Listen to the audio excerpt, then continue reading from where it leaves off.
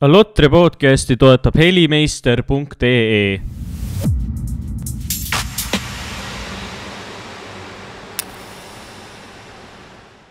esimeses saates oli meil siis külas näitleja Kristjan Lüüs.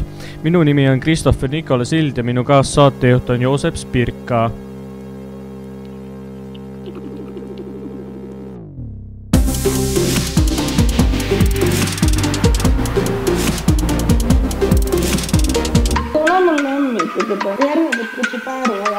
Mina olen eh, Kristjan Lüüs, kahjuks mitte Pääruoja. jõudu. tere tulemast kuulama esimest Allotria podcasti. Podcastid me lindistame alati otseülekandes Discordi vahendusel, nii et kui te soovite tulevikus ka nendest osa võtta ja küsida otse küsimusi, nagu te kuulete siin hiljem, siis soovitame liituda Allotria Discordi serveriga. aga ilma pikema jututa lähme kohe vestluse juurde mina olen eh, Kristjan Lüüs, kahjuks mitte Pääruoja. Olen õppinud eh, Viljandi Kultuuriakadeemias näitlejaks kümnendas lennus siis. muidu Tartu poiss, praegu olen Tallinnas. mis ma veel räägin? olen vabakutseline näitleja, ehk siis see tähendab seda, et mul ei ole kindlat koduteatrit, kuigi me oma kursusega tegime Tartusse justkui oma teatri, mille nimi on Must kast. aga kuna see on projektiteater me võime hiljem avada siis, mis see tähendab ja, ja kuidas projektiteatrid töötavad. Jah, ühesõnaga jah, et, et ma olen nagu justkui seal hingekirjas ka, aga kuna see ei ole niisugune töö, mis kogu aeg annaks leiba või üldse nagu mingisugust väljundit, siis, siis ma olen siin äh, Tallinnas ja teen ja tegutsen ja praegu on äh, selles suhtes nagu see eriolukord andnud isegi võimaluse hakata tegelema striimimisega, mis on väga lahe ja mida ma olen äh, mõnda aega tahtnud nagu teha. nii et jälle üks omaette väljund. Aga võib-olla siis äkki alustakski päris algusest, et millal tekkis sinul soov saada näitlejaks? kas see on sul olnud niisugune eluaegne unistus või, või tekkis see millalgi hiljem nooruseas? Kooli ajal? see on naljakas, sellepärast et eh, ma mäletan eh, nagu esimesed nagu näitlemisega seotud mälestused on ikkagi lasteaiast, aga ma arvan, et meil suht kõigil on a la, et noh, et ikka, kui ikka tehti eh, mingisugust asja, siis sina oled ikka kas mingi põõsas või oled ikka mingisugune jänes või keegi ikka oled mm. -hmm. aga, aga, aga ütleme aktiivsemalt ma mäletan, et kaheksandas klassis tulid äh, kaks klassiõde minu ja minu parima sõbra juurde, ütlesid, et äh, neil on äh, näiteringis vaja poisse ja meie tuleme nüüd kaasa nendega. ja ma olin hea, hea meelega nõus. ja me läksime ja sealt edasi ma olen siis nagu nonstop sellega ka tegelenud, sest noh, eks mm ma juba, juba nii-öelda vanemad on siuksed ja, ja ise olen ka siukene piisavalt lollakas ja ei suuda pudelis paigal püsida, nii et see on siukene hea väljund, ma arvan. et see on jah klassika just seal kuskil seal eas, kui kaheksas klass ja nii, et. et kui klassiõed tulid ja ütlesid, et nüüd tulete ja teete, siis muud varianti ei olnudki, sa pididki minema ja tegema tänu sellistele kogemustele ka mina leidsin nagu noh tee nagu selles äh, teatri ja võib-olla kultuuri vallas, et ka umbes selles eas. aga ja, lähme siia juurde tagasi nüüd, et, et põhimõtteliselt siis peale gümnaasiumi läksid, proovisid siis kohe teatrikooli, jah? jah, mina kõigepealt proovisin siis äh, lavakasse Tallinnas, äh, seal jõudsin siis äh,, tore on alati rääkida, jõudsin viimasesse vooru, kokkuvõttes vahet ei ole vahet ei ole, kuhu ma jõudsin. tollele kursusele mind ei olnud vaja ja siis järgmine aasta proovisin Viljandisse, sain sisse ja kokkuvõttes ma olen väga õnnelik selle üle, seepärast noh, ma arvan, et, et ükstapuha kuhu sa sisse, kuhu ma sisse oleks saanud, eh, mul oleks too kursus meeldinud ja just oleksin selle eluga rahul, mis mul on. nii et ei olegi mõtet ju millegipärast eh, põdeda, et oh my god, miks ma sinna ei saanud ja oh my god, mis võiks kõik teistmoodi olla, ma olen väga rahul kõigiga ja mul on praegu äh, sihuke tunne, et äh, võib-olla just läks nagu hästi, et ma kohe esimese korraga sisse ei saanud, sest tead, see tõi jälle mõnes mõttes nagu maa peale tagasi ja andis ka nagu sellele näitlemisele või üldse minule inimesena natukene seda laiemat silmaringi ja mm, -hmm. ja mhm. üldse nagu mingit maailma tunnetamist, et võib-olla oleks liiga niisugune noor veel olnud. aga mis sa siis aastaga tegid? kui sa sisse ei saanud lavakasse? Eh, mis ma aastaga tegin, ma ja. õppisin äh, Tartus äh, eesti keelt ja soome-ugri filoloogiat ehk siis see väga põnev nagu koht, aga ma sain aru, et noh, see ei ole üldse mina, aga kokkuvõttes eriti näitlejale ei, mingi ükski asi ei ole nagu, ei lähe nagu hane selga vesi selles suhtes, et sa saad ikka kõike ju kasutada ja milleski see on ikka hea ja nagu minu eh, kadunud kursuse juhendaja Kalju Komissarov ütles, et eh, mida rohkem sul kõrvade vahel molekule on, seda rohkem erinevaid eh, kombinatsioone neist saavad tekkida ja seda huvitavam näitleja sa oled aga kas sul oli nagu mingisugune plaan B ka, et ütleme, et kui teatrikooli sisse ei saa, et siis on mingi kindel amet või asi, mida õppida nagu äh, peamiselt tegema või oli sul teadmine, et sa pead kuhugi teatrikooli sisse saama, et see on ikkagi sinu teema? ma mäletan, et kui ma olin veel vist põhikooli lõpp, gümnaasiumi algus, siis ma olin nagu, nagu natuke kahe vahel, et, et ma tahtsin saada kas näitlejaks või muusikaõpetajaks.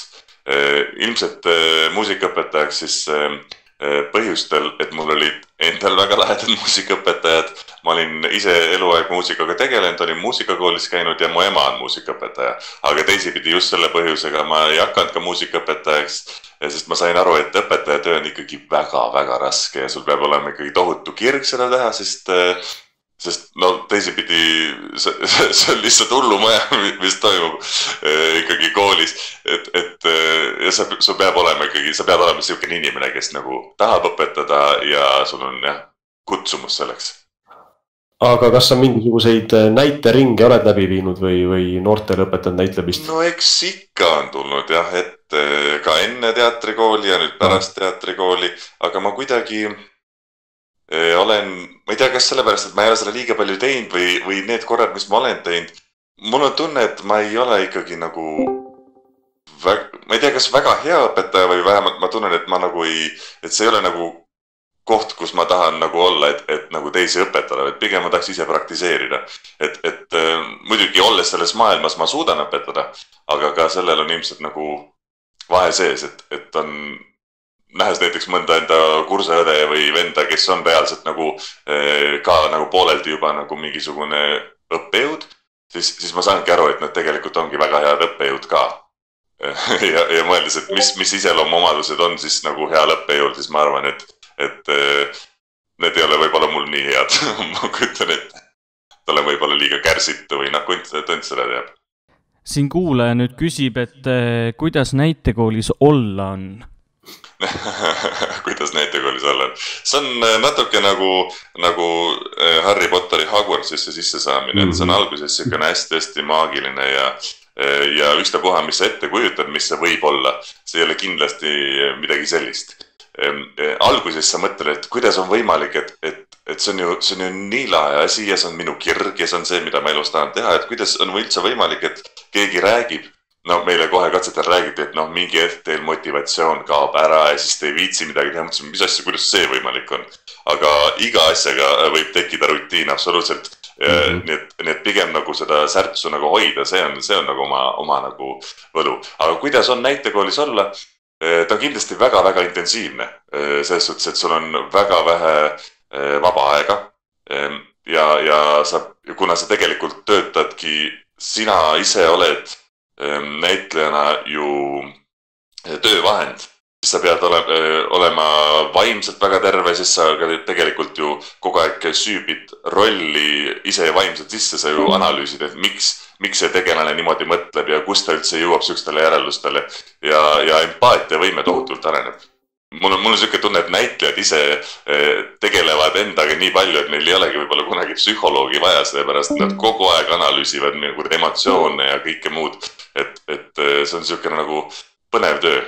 paljud arvavad seda, et, et issand jumal, et ma ei oska laulda või ma ei oska akrobaatikat teha, et kuidas ma nüüd siis lähen näitlejakooli. Eh, tegelikult kooli ju minnaksegi sellepärast, et õppida. ja mm, mul on suurepärane näide, minu kursavend Märt Koik Eh, kes on ka mm -hmm. striimer ja, ja, ja, ja mida iganes, kõike multitalent poiss, tema näiteks sisse astudes üldse ei osanud laulda. No tõesti, kui öeldi, et laula, siis ta põhimõtteliselt nagu lu luges luuletust või noh, mida iganes mm. -hmm. teise aasta lõpuks ta laulis koos meiega Napoli aariaid ja sa ei saa aru, et tüüp ei ole kunagi nagu laulnud. selles suhtes, et nendes koolides on õppejõud, kes nagu panevad sind saltosid hüppama, panevad nagu ja see kõik toimub nii loomulikult, et sa nagu järsku teedki neid asju. nii et selles suhtes nagu väga, väga lahe kogemus Märdi laulmine on puhas Leelo Talviku töö, eks ole Leelo Talvik on kindlasti üks osa sealt, aga meil oli palju õppejõude, kes kõik nagu panid seda puslet. ja nüüd me saame jõuda selle Leelo Talviki juurde, et äh, kas ma ütlen ära, et see on äh, Joosepi vanaema. see on minu vanaema jah, juhuslikult oo, jumala tõe, tervitan teda. ta on ikka crazy, crazy, crazy tüüp selles suhtes, et nii palju, kui ta meile ütles kooli ajal, siis ta ütles, et aa, ma magan ööpäevas ainult neli tundi ja siis Seda ta ütleb iga päev. energeetiline tüüp. seda ta ütleb kogu aeg meie ema ka. jah, jah, ta elabki tast armastusest oma töö vastu ja sellest kirest, mis tal on no laulmise ja vot, see on kadestusväärne. tänu temale oskan mina ka enam-vähem laulda, nii et jah, me kõik oleme talle Yeah. selle võlgu. okei okay,, näitekool on nagu üks variant, aga kas sa arvad, et näitlejaks võib ka saada ilma näitekoolita? ei no selles suhtes, et see on hea küsimus, et meil on, on ju tegelikult nii-öelda väga palju näitlejaid, kes ei ole ka näitekooli läbinud. et, et kes on lihtsalt saanud nagu filmi või lihtsalt on nagu tohutu huvi ja on nagu harrastusnäitlejad. siin on selles suhtes ikkagi nagu vahet tunda kindlasti, et sa saad eh, koolis mingisuguse käsitööoskuse, kui ma võin niimoodi öelda, et sa ikkagi ähm, näiteks kõige lihtsam näide, kui sul on vaja äh, ikkagi mängida, et sa oled tohutult kurb ja nutad ja mida iganes, siis no loogiline asi oleks see, et mõtle millelegi kurvale. aga tegelikult äh, esiteks äh, see ei tööta iga kord, sest äh, iga kord, kui sa mõtled sellele kurvale asjale, lõpuks ta ei ole enam üldse kurb, sest sa oled sellega ära harjunud. Mhm. aga sul, sa juba saad näitekoolist nagu mingisuguse tööriista, et tegelikult, kuidas sa saad seda loomulikult teha või kuidas sa nagu jõuad selleni, et sa selles kohas alati nagu hakkad nutma. et, et nagu mingid, mingeid asju ta ikkagi õpetab, et kuidas sa ennast kulutad vähem ja kui sa pead tõesti andma nagu iga õhtu nagu etendust, kus sa oled mingi tohutult, ma ei tea, kannatad ja mida iganes, siis sa inimesena ikkagi oled nagu normaalne, ei ole sihuke, et sa lähed õhtul koju, oled mingi, mul jumala läbi jälle kuradi karjusin ennast tühjaks ja ma ei tea, nutsin ja laamendasin. et sa pärast seda normaalne inimene tuled sealt välja ja noh, selles suhtes ikkagi ta nagu Mhm. aitab sind ka selles väga palju. aga sa oskad pisaratega nutta, õppisid sa selle ära ikka? muidugi. aga sa teed seda nagu tehniliselt või, või sa teedki seda niimoodi meetodipõhiselt? tehniliselt on ta nagu kindlasti palju raskem, aga, aga pigem, pigem on ta see, et, et sa ikkagi viid ennast sinna ja, ja kui sul on stseen, siis sa ikkagi millegipärast ju hakkad nutma. et mm, Mhm. -hmm. et, et sa kuidagi ikkagi nagu teed selle rännaku sealt natukene nagu läbi ja oled, oled seal rollis nii palju, et see nagu toimub ka loomulikult. No muidugi alati võib mõelda, et näiteks filmis see ei saa alati olla ju loomulik, sellepärast et eh, stseene tehakse hästi palju kordi. Nii ei ole see, et no nii jälle ootame nüüd, kuni, eks ole, Kristjanil tuleb tunne peale, vaid et noh, seal natuke on nagu sihuke mõlema asja nagu koostöö. ja filmis veel eriti, et sa pead äh, minema sinna rolli ja siis tuleb katt ja sa tuled sellest välja ja, ja siis peab kohe uuesti tulema mm. Mhm. -hmm. täpselt. Aga mis sa ise ütleksid, kumb sulle rohkem sümpatiseerib, kas teatri või filmi näitlemine, et äh, kas siis laval või filmiekraanil? vot see on jälle niisugune asi, et, et minult on seda küsitud. ja, ja ma pean vastama sellele ikkagi niimoodi, et need on tegelikult üsnagi erinevad asjad. et, et okei okay,, et sa nagu tegeled eh, sama asjaga, aga, aga kui sa võtad nagu keskkonda, kus sa oled, siis, siis eh, näiteks teatris sul on reaalselt inimesed saalis, sa kaks tundi ikkagi mängid mingit asja nagu järjest, sul ei ole see, et teeme stoppi, teeme uuesti, mul läks mingi asi sassi kaamera jälle võib olla sul mingi tohutult lähedal, kui inimene ikkagi on kaugel. ma ei tea, filmis on sul mikrofon küljes, aga, aga teatris sa pead enam-vähem suunama häält Draamateatri viimasesse ritta. kõik siuksed asjad natukene nagu mängivad kaasa ja sa pead nagu natuke teistmoodi näitlema. noh, teatri loomulikkus versus nagu filmi loomulikkus, pigem nagu filmis näitleja ongi nagu väga-väga elulähedane ja sellepärast, et just, et ta ei pea nagu kuidagi häält ise kõvemaks tegema või kuidagi olema, et ei oleks seljaga saali või mida iganes. aga kui mulle meeldib ähm,, mul, mul on, mulle meeldib teha neid mõlemaid asju nagu kordamööda, sest kui ma teen ühte väga palju, siis ma hakkan eh, nagu teist igatsema, aga need on nii, nii erinevad, et, et see on nagu hea nagu oskus, mille vahel nagu vahetada. Ja see on nagu hea, kui saab nagu aeg-ajalt nagu mõlemat teha. et see oleks nagu ideaal aga sul endal eh, lemmikroll on? ma mõtlesin selle peale, mul äh,, ma ei saa öelda, et mul nagu on lemmikroll olnud, mul on kindlasti olnud nagu mingid lavastused, kus mul on meeldinud mängida, kindlasti on mingisugused võtteperioodidelt väga lahedad, aga, aga mul vist, miks mul seda äkki ei ole, on see, et, et ma ei tea, kui umbluult see kõlab. Eh, paljud olete sellega kursis, aga on eh, näitlejate vahel on võimalik ka nagu teha vahet, et üks on nagu karakternäitleja rohkem ja üks on sihuke nagu, ma ei tea, kuidas öelda, siis nagu Äh, mina antud olukorras, aga, aga nagu, nagu kogu aeg enda pealt rohkem. et äh, karakternäitlejad on noh, näiteks Jim Carrey, kes, kes võib nagu täiesti suvaliselt nagu hoopis teistmoodi kehastuda siukseks nagu hoopis teine hääl, teine kõnnak, teine see ja ta teeb seda nagu väga veenvalt ja ta ongi see teine inimene. ja aga, aga versus siis mingid näitlejad, kes siis nagu äh, on üldiselt nagu hästi-hästi nagu tõetruud endale, kuigi, kuigi võtavad selle rolli endale peale, seda on hästi raske kuidagi seletada. ja, ja ma arvan, et võib-olla sellepärast, et ma ei ole nagu enda meelest eh, nii tugev karakternäitleja või vähemalt ma ei ole nagu teinud nii nagu ekstreemselt erinevaid asju endast, noh, Kristjanist endast nagu ähm, jah, erinevalt, siis, siis mul on tunne, et, et ma ei ole ka nagu armunud mingitesse tegelastesse nagu niimoodi, sest ma ei ole neid mm -hmm. nagu niimoodi valmis treinud hoopis teistsuguseks endast seisvalt. ma ei tea, kui see on loogiline. jah, nii on tõesti jah. aga küsime siis veel Viljandi kohta või? jaa, tegelikult mind isiklikult väga huvitaks selline, mis sa nagu arvad sellest, et kas, mis, mis sa arvad üldse sellest Viljandi koolist praegu, et seal on ju tegelikult päris palju muutunud võrreldes selle ajaga, kui sina õppisid seal see. seal on tõesti. Kalju Komistarov läks nüüd siin ju teise ilma vahepeal ja nüüd on see yeah. Katariina Unt sinna tulnud, eks ju, uueks yeah. Äh, kursuse juhendajaks. et kas sa arvad, et see kool on ikka veel samal, samal nagu tasemel, mis ta oli tollel ajal? Äh, mul on seda raske öelda, sest ma praegu ei käi seal koolis ja ma ausalt öeldes ma ei ole ka nagu äh, igapäevategemistega väga kursis yeah., ma, ma tean, kes seal enam-vähem on ja ma kujut- ja olen nagu kuulnud läbi teiste näitlejate, et, et enam-vähem, kuidas seal on aga, aga pigem ma tooksin analoogi sellega, et, et ta on ehk natuke rohkem nüüd lavaka moodi, sest lavakas ju tegelikult võtab iga uue kursuse uus inimene vastu.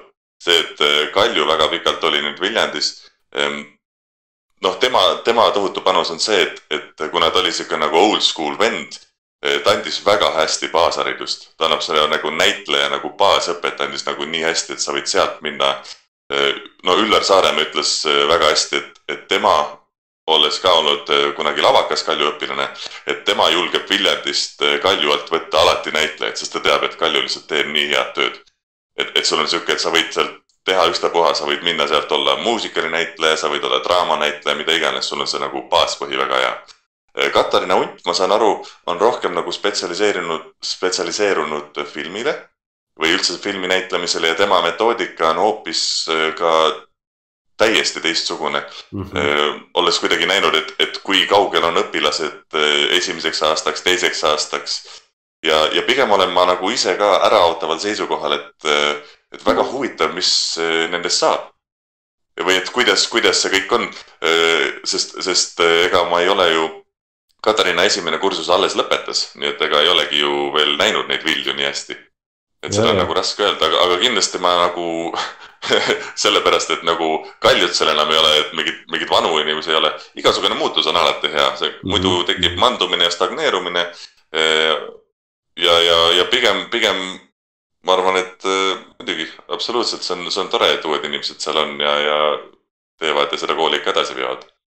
jah, Katarinal on vist rohkem jah, filmipõhine jah, nagu sa ütlesid ja siis performance'i põhine ka vist. ja, ja täpselt. nagu ma olen aru saanud, et Kalju rohkem ikka tagus seda Stanislavski stiili mm. -hmm. niisugust jah. siin kuulaja küsibki, et äh, milliseid äh, stiile olete veel õppinud koolis peale Stanislavski? no selles suhtes, et, et näitlejaõpi, näitlejaõpe Eestis on ikkagi Stanislavski teatrikooli põhine mm, -hmm. aga, aga teatri ajaloos sa kindlasti nagu tutvud ka alternatiivsete näitlemiskoolkondadega. Ja, ja ka läbi mingite workshop'ide on tulnud ka noh, tõesti seinast seina, et, et ka väga performatiivseid asju teha, väga nagu tantsuteatrit, väga mingit sihukest, et kuni Stanislavski on nii-öelda seest välja süsteem, et ma kõigepealt tunnen ja siis ma hakkan nagu kuidagi olema, siis, siis on ju olemas ka väljastpoolt sissepoole, et sa kõigepealt paned endale nagu kõik kostüümid ja värgid ära ja siis sa vaatad, et ahah, see inimene võiks olla nüüd sihukene, sest see on nüüd noh, väljast, see välispidine nagu kuidagi eh, defineerib minu seda, mida ma või, missugune ma võiks olla. et juba see on hoopis teistsugune lähtepunkt. aga üldiselt on ikkagi jah, Stanislavski see, see põhiline, mis Eestis ka on, see baasharidus. ja kuidas sa näed, et kas see nüüd äh, ka nüüd edasisel perioodil jääb nagu selleks baashariduseks või, või, või on äkki mingisuguseid suuremaid muutusi toimumas üleüldises nagu teatrikultuuris üle maailma? mul on et... nagu minu meelest hea näide on see, et ähm, kui sul on klassikalise tantsu põhi, siis või noh, näiteks klassikalise balleti põhi, siis sa võid sealt edasi minna hip-hopi, aga sa ei saa hip-hopi sealt äh, hariduselt tulla ball, äh, balletti tantsima. et, et, et, et tal on ikkagi natuke mingisugune nagu, mingisugune teine kaal. Äh, ma võin ka täiesti nagu mööda panna, sest noh, me ju kõik oleme kuulnud Hollywoodi näitlejatest, kes on, issand, mul ei tule nüüd see mõiste meelde, aga kes nagu ah,, method acting, palun. See ei ole Stanislavski, vaid see on see, et ma lähen ja elangi päriselu ka selle karakterina, lähen kuskile, sulgen ennast kaheks kuuks kuskile ruumi, tunnen seda üksindust. reaalselt, ma ei tea, võtteplatsil, kui sa lööd mind, löö mind päriselt. mis, mis nagu on see, et natuke, natuke see läheb sinna, sinna valda, et eh, siis sa ei tegele ju enam näitlemisega. Aga teisipidi, kui sa ei lähe väga ekstreemsusesse, siis ka sellel on ju väga-väga suurepäraseid rollisooritusi olnud uh. -huh. et, et see, ma, ma kindlasti kuidagi ei ütle, et see on nagu eh, halvem või alam, absoluutselt mitte, kui sa oled meetodnäitleja ja see sinu jaoks töötab, siis go for it. see ongi iseenesest huvitav, et eh, mingist punktist tekib küsimus, et kas see on siis ikkagi näitlemine, aga näiteks samas Hollywoodi filmi näitlemises on ju meetodnäitlejad äh, eelistatud. no teisipidi, kui ma nüüd mõtlen, siis kui, kui me läheme nagu täiesti, täiesti sellesse, et mida Stanislavski ise tegi, siis tegelikult see ei ole väga kaugel meetodnäitlemisest. sellepärast, et äh, tema harjutas oma rolle mitte kaks kuud, nagu praegu meil on nagu teatris ka proovivorja, prooviperioodid, et sa kaks kuud teed proove ja siis sa oled see, vaid et ta reaalselt nagu aasta aega timmis ühte nagu karakterit ja siis ka kindlasti ju mingi aeg elas selle karakterina. nii et põhimõtteliselt see on ka minu meelest Stanislavski ise natuke oli meetodnäitleja. mul selle meetod acting uga meenub see, et äh, siin Eestis on ka käinud see, mul ei tule selle inimese nimi praegu meelde käinud andmas neid workshop'e sellele improvisatsiooni. kas see võib olla Robert Marshall või? jah, Robert ja, Marshall ja, ja, vot täpselt. sa oled ka käinud nendel kursustel või? olen, olen, see on Oled, üks kõige võimsamaid workshop'e, kus ma olen käinud. ja vot, vot ma olen kuulnud ja, et see pidi väga võimas olema, ma olen rääkinud ka mõne tuttava näitlejaga. äkki sa tahad eh, lähemalt rääkida? ja äkki sa soovid rääkida lähemalt sellest jah ma workshop'ist äh, hea meelega ei räägiks, sellepärast et äh, kogu selle, aga ma räägin, ma räägin selle nagu stilistika ära või üldse mm -hmm. nagu, mis selle nagu koolkonna point on yeah.. et Robert Marchand on ise, kui ma nüüd ei eksi, siis austraallane ja, ja tema on siis nagu selle inimese, kes selle välja töötas, tema õpilane. ja nüüd ta siis õpetab seda ja kogu point on seal see, et see on tavaliselt on filmi näitlemisega seotud, see on nagu mõeldud eelkõige filmi näitlemiseks, aga sellega on tehtud ka vist teatrit vist vähem. aga kogu point on selles, et ähm, kui sa muidu saad filmi stsenaariumi ja sa loed selle läbi, ahah, ma tean, mis ma teen ja, ja kui sa teed proovi, siis on ka see, et ahah, aga tule sa hoopis siitpoolt uksest, siis on mul parem nagu näidelda niimoodi ja siis, siis tuleb see asi paremini välja. siis, siis mida Robert Marchand teeb, on see, et äh, või üldse tema õpetaja näiteks kui ta andis filmi stsenaariumit, ta ei ütle näitlejatele, mis toimub. Nad reaalselt, nad tegelevad selle näitleja rolliga nii palju, et, et ta, kui ta läheb rolli sisse, siis ta teab, kuidas ta, kuidas ta käib, kuidas, kuidas ta peab käituma ja, ja kui talle on öeldud, et okei okay,, see stseen on nüüd niimoodi, et sa lähed kohvikusse sa saad oma emaga kokku ja te olete varem nagu läbi rääkinud selle, et emaga suhe on hästi-hästi, ma ei tea, halb olnud, et ta kunagi andis sind näiteks lastekodusse ära, mida iganes, siis kuidas see reaalsuses välja näeb, on see, et need näitlejad ei ole kunagi kohtunud Nad ei, neil ei ole ühtegi sõna ette kirjutatud, vaid et äh, näitlejal on sihukene taust, et kui ta läheb ro selles rollis nüüd sinna ähm, restorani ja kohtub selle teise näitlejaga ja seda filmitakse, siis kõik, mis seal juhtub, see ongi tõde ja see, kuidas see loomulikult peaks minema. ja, ja kohe, kui pannakse nagu stseen kinni, siis te omavahel ei tohi rääkida, nagu selles suhtes, et te ei tohi oma rollist rääkida sest see nagu rikub kogu seda ära, nii et tegelikult kogu, kogu see asi nagu on suure saladuse loori all ja, ja kõik see ja siis ainult režissööriga nagu koos ähm, mingeid vajalikke asju nagu pannakse paika, aga muidu, muidu sa lihtsalt ähm, mingisuguse sihukese loom-, loomulikkuse otsingul on see nagu meetod üldiselt. aga kas siis on mingisuguseid filme ka tehtud sellise näitamise baasil? oo oh, ja, ja, ja, ja see on väga lahe, ma isegi praegu ei oska nagu öelda, no samamoodi nagu mul ei ole selle nagu meetodi väljatöötaja nimi meeles, mul ei ole ka neid filmi näiteid praegu tuua, aga ma nägin ühte filmi ja see on nagu, see on nii lahe uh -huh. ja, ja olles nagu ise teile nagu, nagu läbi teinud, siis ma suutsin seda nagu appreciate ida nagu nii palju rohkem ja, ja, ja nagu nautida seda. ja see on nagu tõesti väga ehe ja, ja nagu väga hästi nagu näideldakse seal selles suhtes, et see nagu mhm. täitsa pädeb isegi Eestis vist äh, need tolk ja maimikud või maimik, üks mhm. maimik pidid tegema mingit sellisel, sellisel äh, näitamisel baseeruvat filmi. aga ma ei tea. seda ma ei teagi. et ma kuulsin, et nad pidid tegema ja et. ja, ja tolk ma tean, on kindlasti selle läbi teinud ja, ja, ja võib-olla vist maimik ka siis. jah, jah, jah, aga ma ei tea nüüd, mis sellest projektist sai, aga jah, mingid jutud siin liikusid ja, et need pidid nagu sellise filmiga tööd alustama jah nüüd siin lähiajal no,. päris lahe. ma ei tea. aga seal on jälle see, et tegelikult miks seda ei tehta, on see, et see on hästi-hästi ajakulukas yeah.. Äh, just sellepärast, et sa, sa nagu ei saagi midagi ette nagu määrata ja ainus inimene, kes seda asja juhib, ongi nagu siis režissöör. ja, ja see noh, tohutu ajakulu, mis tähendab juba ka seda, et see on tohutu rahakulu. aga seda raha, raha Eestis ei ole, nagu me kõik teame. täpselt jah.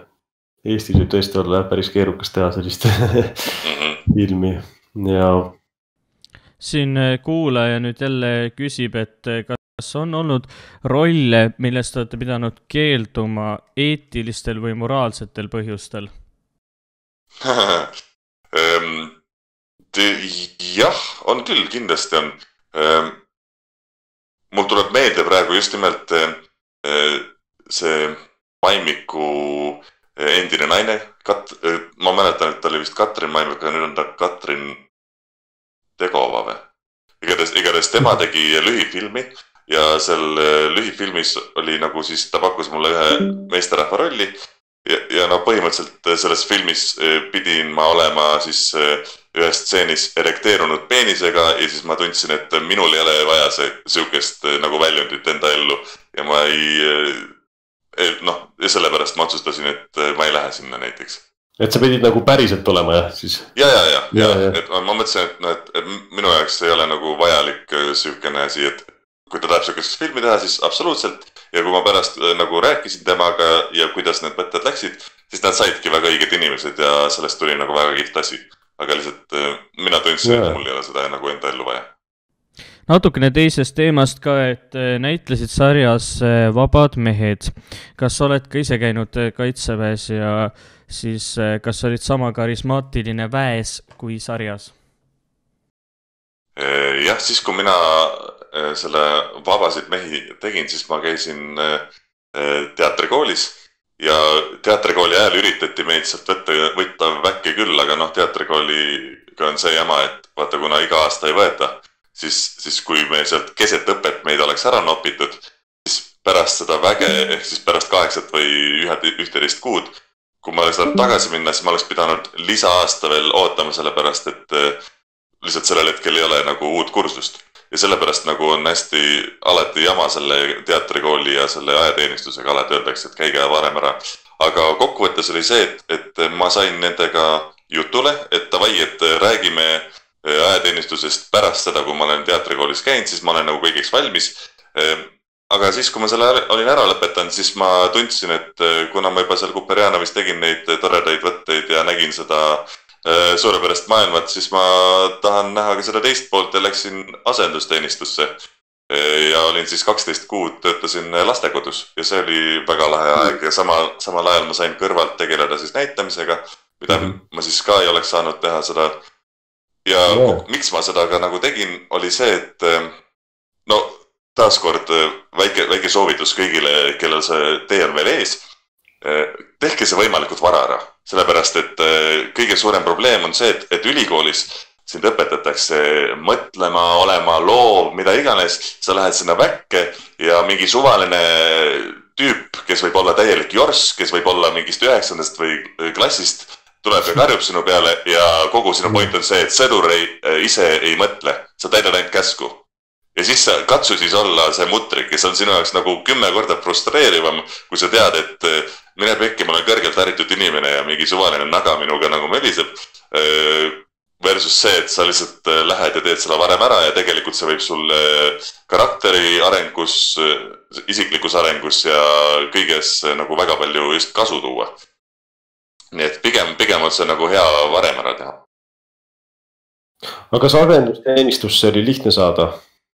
Ja, äh, vähemalt mul küll, sellepärast et äh, okei okay,, natuke ma pidin äh, ikkagi nagu asja ähm, lükkama sinna suunda rohkem. ma pidin, noh, kui ma käisin seal arstlikus komisjonis äh, ütlemas, et ma tahan sinna minna, siis ma ikkagi nagu konkreetselt ütlesin, et äh, ma olen patsifist, et ma äh, ei, ei usu nagu sõtta, mis on tegelikult õige, ma mm -hmm. ei usu, et, et see on nagu asi, sest kui me mõtleme, mis asi on sõda, siis ta on tegelikult kahe institutsiooni vaheline nagu mingisugune öö, asi, et ega sõja, sõjaväes on see, et, et riik versus riik, eks ole. ja, ja siis tehakse propagandat, et teine pool on hästi-hästi halb mm, -hmm. kuigi me kõik, kõik oleme inimesed ja noh, see on minu jaoks nagu ikkagi asi, mida ma päriselt usun.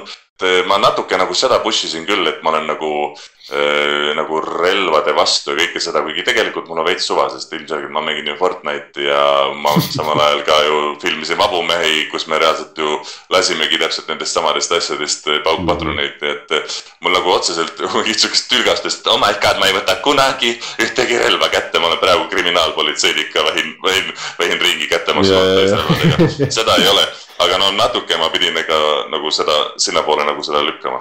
aga ta oli väga jah, muidugi, et, et alati on ka sinna asendusteenistusse vaja inimesi ja alati on need äh, ajateenistuse äh, pataljonid täis, üle, üle, ülevoolavalt täis, nii et ma arvan, et see on nagu mm -hmm. hea, kui mõni otsustab ka nagu muud teha mul endal on ka veel see tee on ees ja ma siin kaalun ka varianti, et äkki minna asendusteenistusse tule, tuletõrjesse, päästeametisse See... no selles suhtes, et äh, see on kindlasti võimalus, aga nad ikkagi määravad sind kuhugi. sa võid, sa võid nagu öelda, kus sa nagu tahaksid.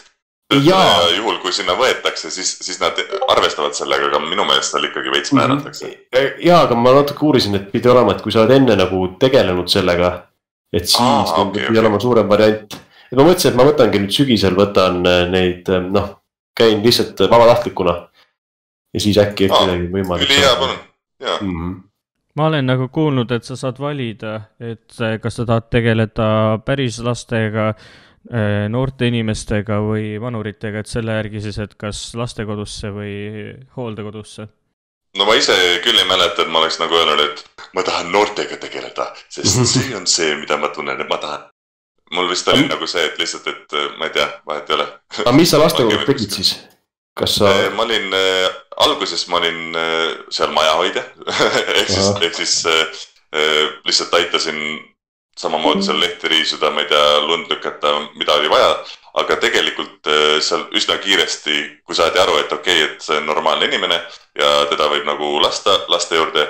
siis ma olin nagu abikasvataja või, või kasvataja seal reaalselt, et, et kuna ma olin ka Tartus ühes üsna nagu uute majadega nagu lastekodus nagu käopesa ja seal olid ka nagu peremajad, ehk siis olid nagu kolm-neli maja, kus, kus olid nagu just pandud lapsed võimalikult eri vanustega, et nad saaksid üksteist ka natuke nagu hoida ja olla sihuke nagu perekond. ja seal oli alati nagu kaks kasvatajat, kes siis nagu vastavalt mingite tundide arvudele nagu roteerusid.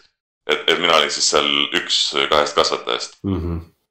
Ja siis noh, kui vaja oli kellegagi kuskil käia mingitel, ma ei tea, üritustel või mida iganes, siis seda sai tehtud ja seal oli samamoodi ka nii-öelda haigeid lapsi, puudega lapsi, keda alguses vaata üldse noh, igasugune eelarvamus on, et issand jumal, mis see lastekodu veel on, sest igas Disney filmis on see, et, et seal on mingisugune hästi kuri hästi,, hästi-hästi kuri mingisugune hoidja, kes alati piinab neid lapsi. tegelikult ei, see on jumala nagu tore koht ja, ja lastel tegelikult, nad ei ole, nad ei ole siuksed, et me nüüd külmetame ja meil ei ole asju.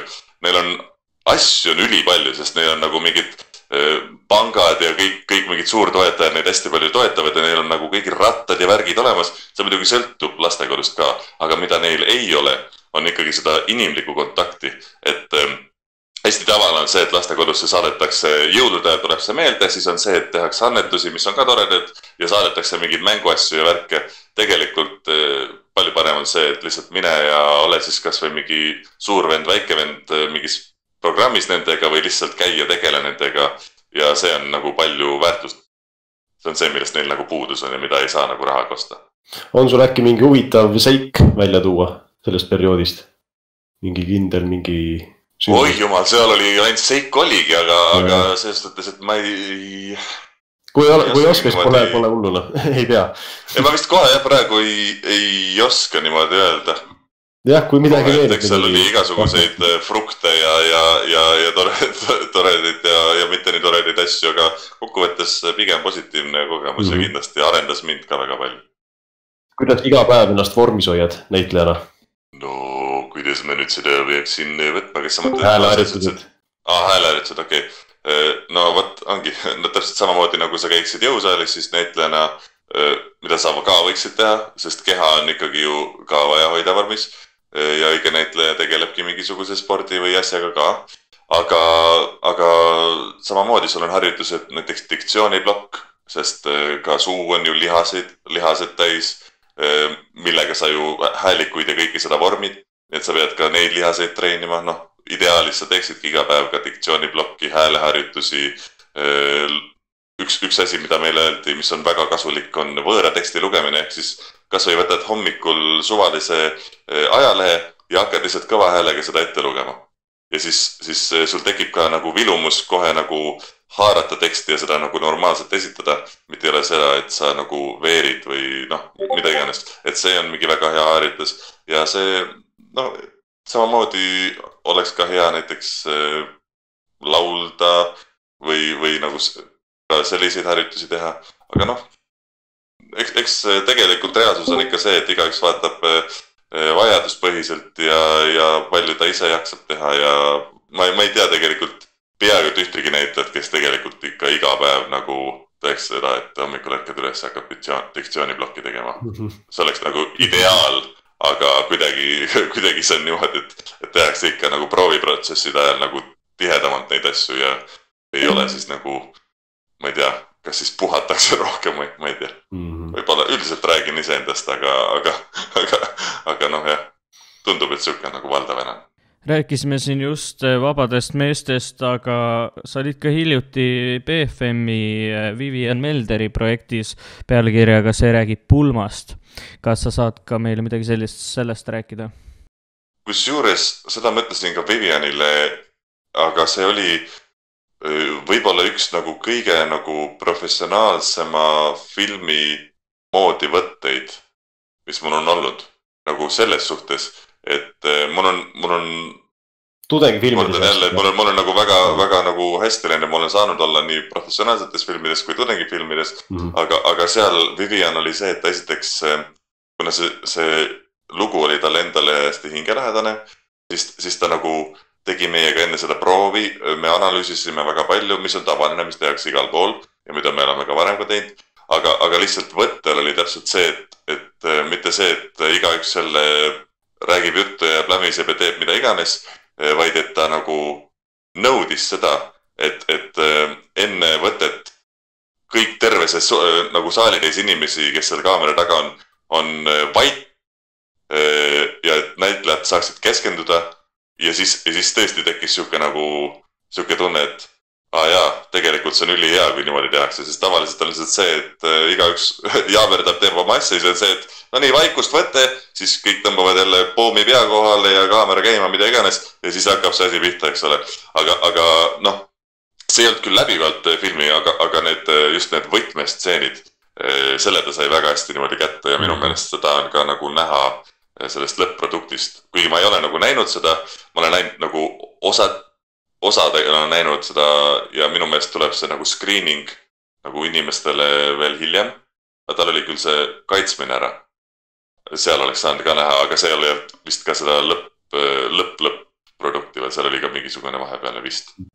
aga mis sa ütleksid, mis on tavaliselt need tudengi filmiprojektide nõrgad eh, kohad, et võib-olla paneks eh, isegi midagi kõrva taha tulevikuks?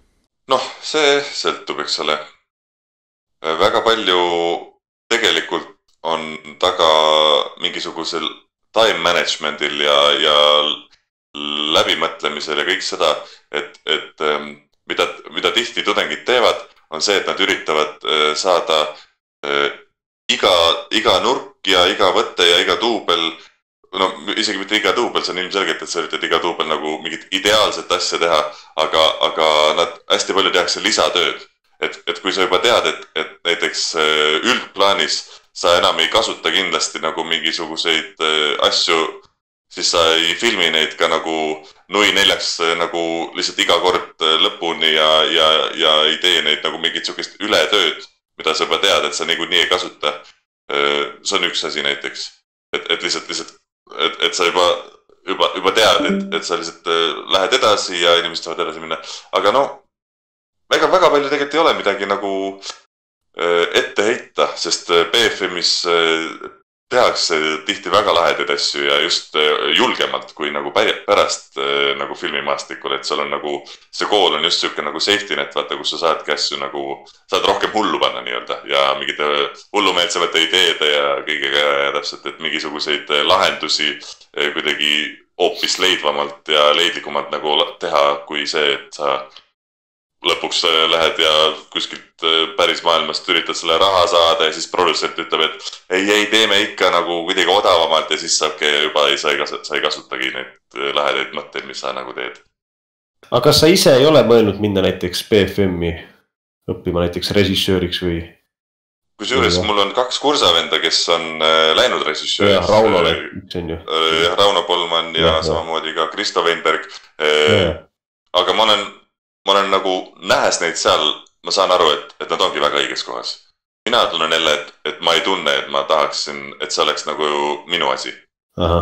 et, et minu, minu thing, et, et ma praegu, ma kindlasti kunagi elus tahaksin lavastada ja ma olen ka nagu mingisuguseid filme nagu teinud ja mingeid asju pidanud lavastama, aga ma tunnen ikkagi ennast praegu, et ma tahaksin olla näitleja nagu seal juhitoolis et see ei ole, et, et mul ei ole nagu seda püüdlust saada režissööriks näiteks või, või stsenaristiks või helinäitleja. küsin siis selle ka ära, et äh, millal siis järgmine kättemaksukontori osa tuleb?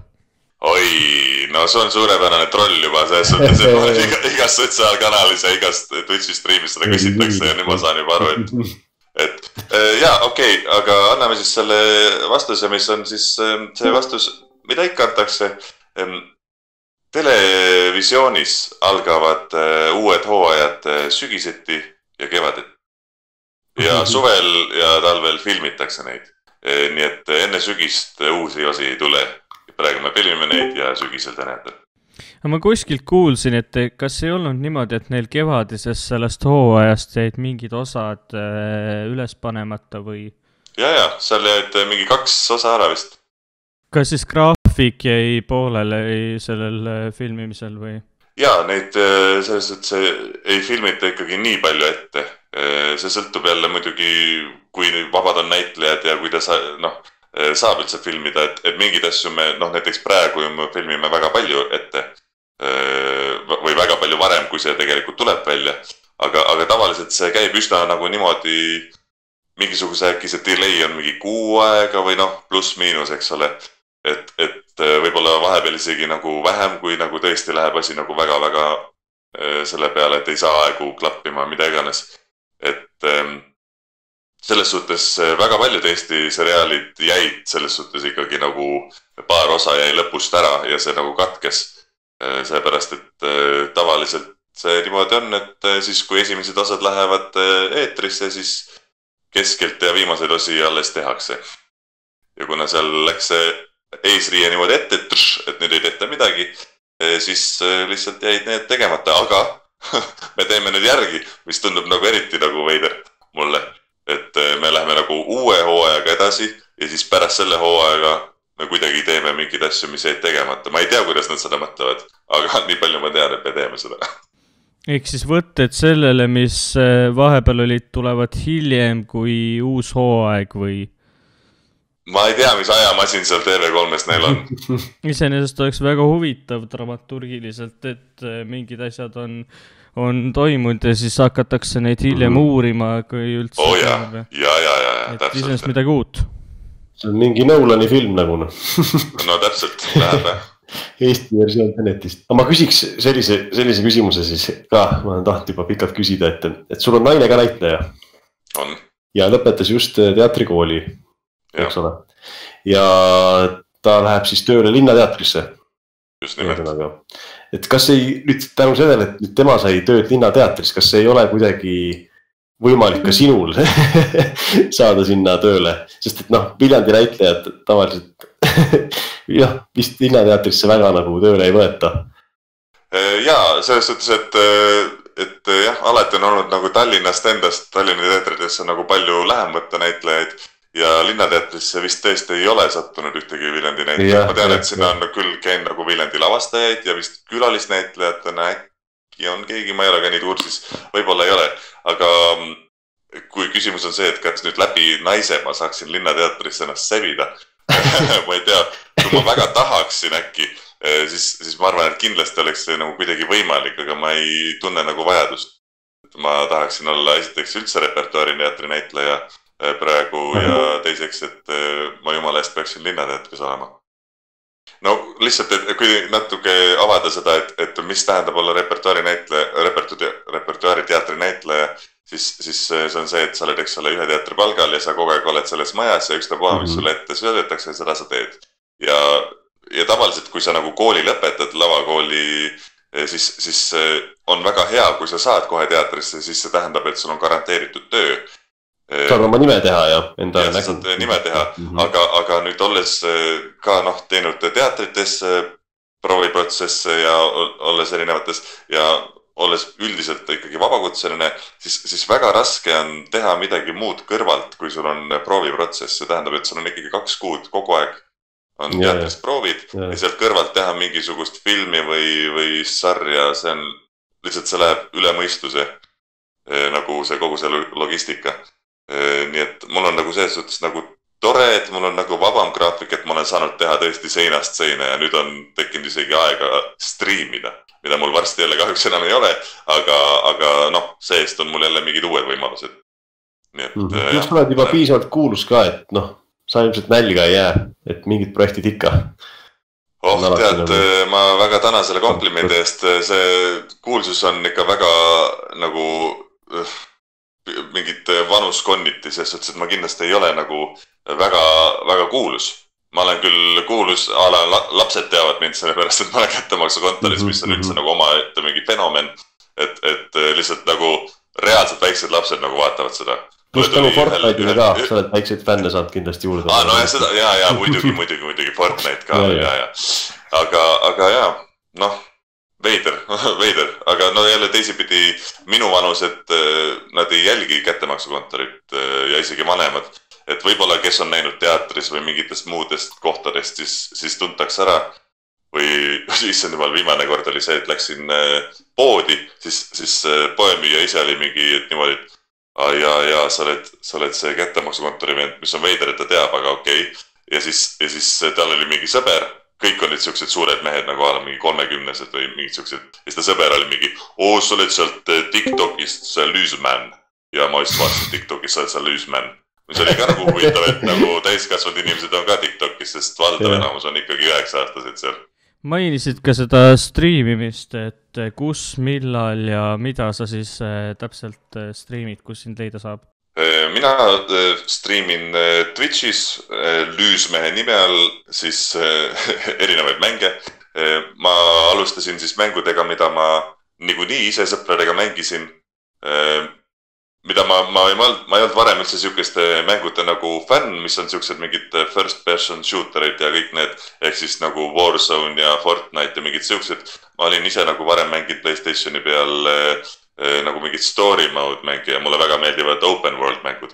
aga ma olen praegu jah äh, striiminud äh, siis äh, äh, Fortnite'i ja Warzone'i, nagu ma ütlesin, mis on toredad sellepärast juba, et ma saan vaatajatega mängida. ja, ja üldse, miks mulle meeldib striimimine, on see, et ma saan äh, suhelda publikuga ja see on nagu tore ja see on nagu mm. -hmm. kihvt. ja, ja, ja neil on tore sellepärast, et oo, et see on see vend ju sealt Padjaklubist või no ükspuha kohast kohast. ja, ja, ja mul on lihtsalt nagu noh, sihuke tore, tore kommuun on nagu tekkinud.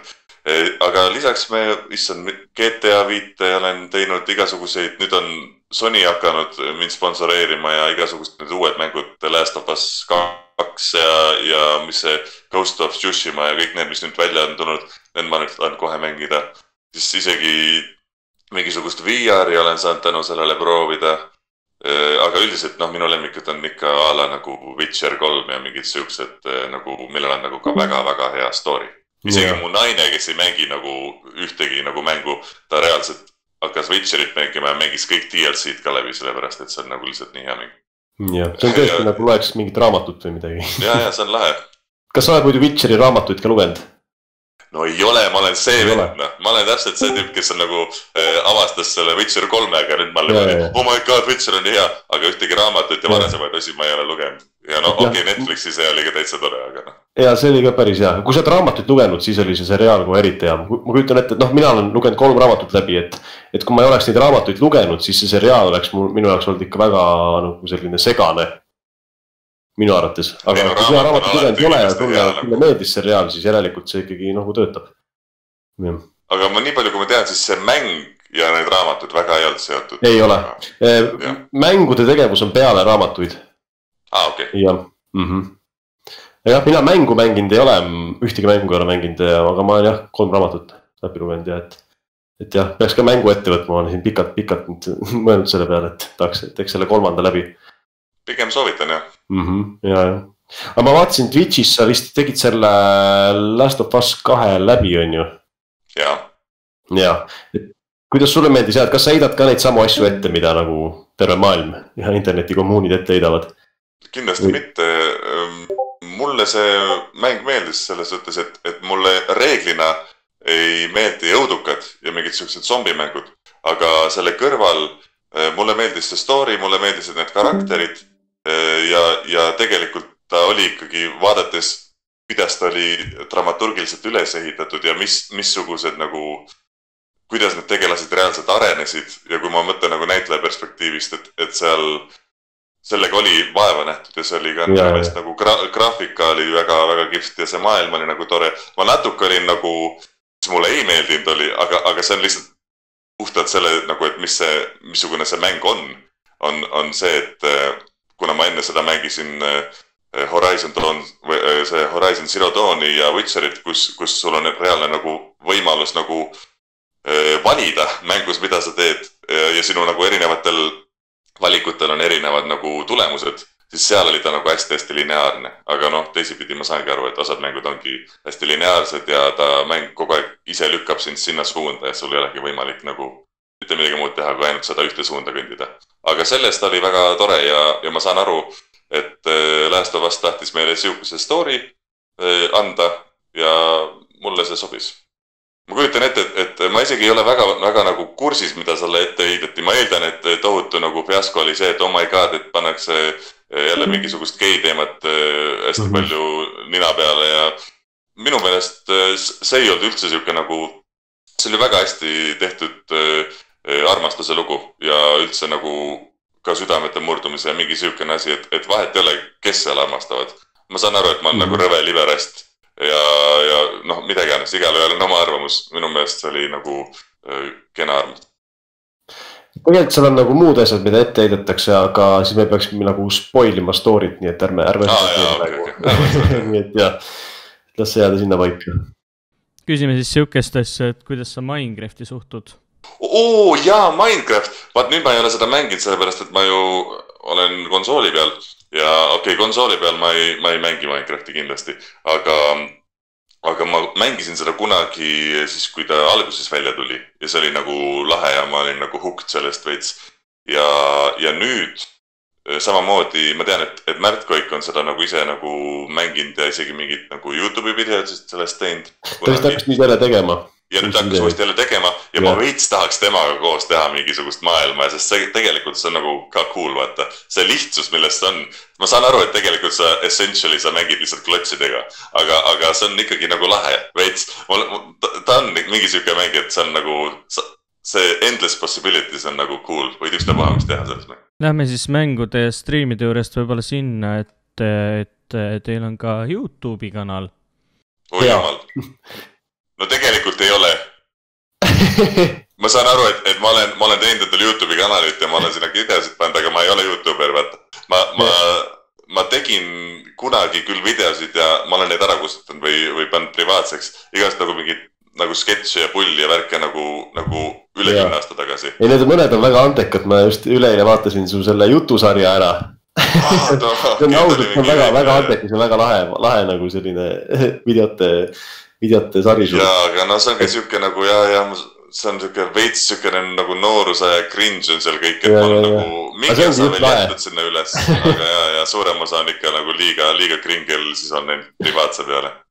mul aga just olen- viimane, viimane oleks nagu tore teha, aga edasi, aga noh, see jälle võtab tohutu aja ja, ja ma ei tea, ma olen leidnud neid äh, väljundeid nagu mujal, et a la kui ma Jaa. tahan nagu mingit sketši teha, siis ma olen selle pannud kas Instagrami või nüüd siis Tiktoki. mm,. kokkuvõttes noh, saan seal välja elada. aga Oja laul ja jutusaade olid väga põnevad, seda me vaatasime siin üks Mhm. päev. oo oh, jaa, jaa, jaa, need on jah toredad. on kunst lauda, võiks öelda. kuulajate küsimusi veel natukene, et äh, siin äh, Liina küsib, et kuidas leidsite veganluse enda ellu? aa, hopsti, kas see on seesama Liina, kes enne rääkis või? jaa, see on seesama Liina, et me saame talle isegi siin sõna anda, et Liina, kas sa kuuled? tere, tšau Liina.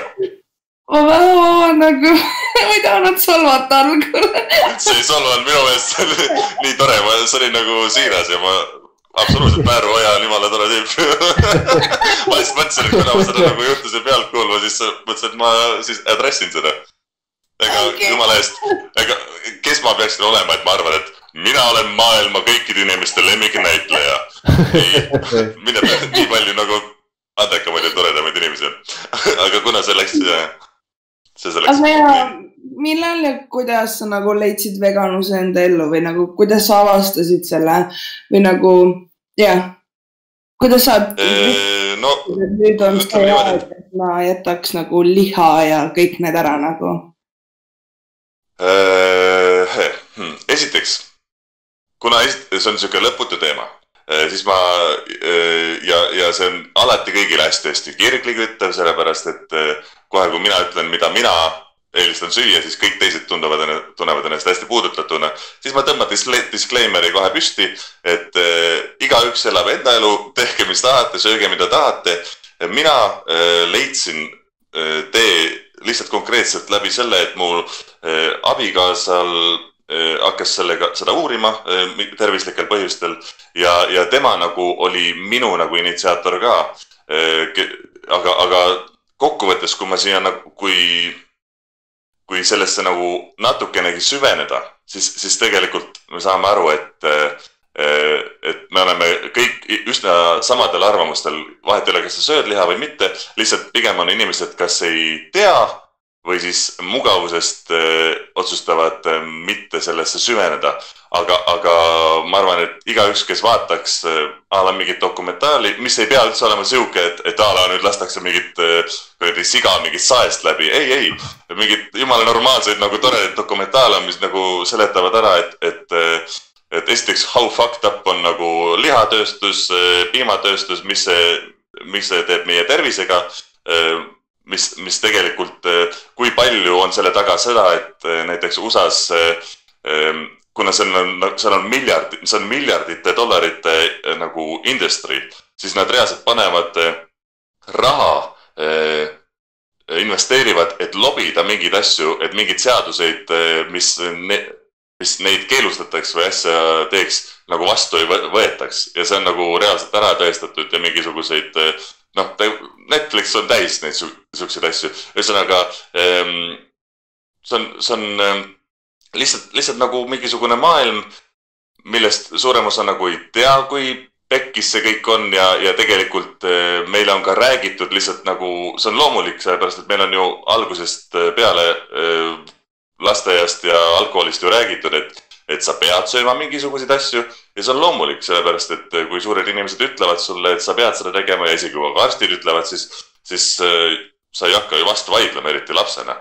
aga, aga tegelikult, kui sa nagu, kõigil on ju vabadus eh, seda vaba informatsiooni uuesti üle vaadata ja siis saada aru, et, et eh, mingisugused teaduslikud uuringud ongi rahastatud näiteks piimatööstuse poolt ja nad on nagu reaalselt nagu kallutatud või on eh, lihatööstuse poolt või mingid siuksed asjad, et ähm, et, et mina tundsin, et, et kui mina saan enda valikutega eh, midagi muuta, siis eh, esiteks see selleks, et see on keskkonnale ka- kasulik, see on, minu pärast ei teki vägivalda rohkem maailmasse juurde, kui peaks ja see on ka mulle reaalselt tervisele kasulik, siis, siis miks ma seda ei peaks tegema, sest tänapäeval meil on ju valik.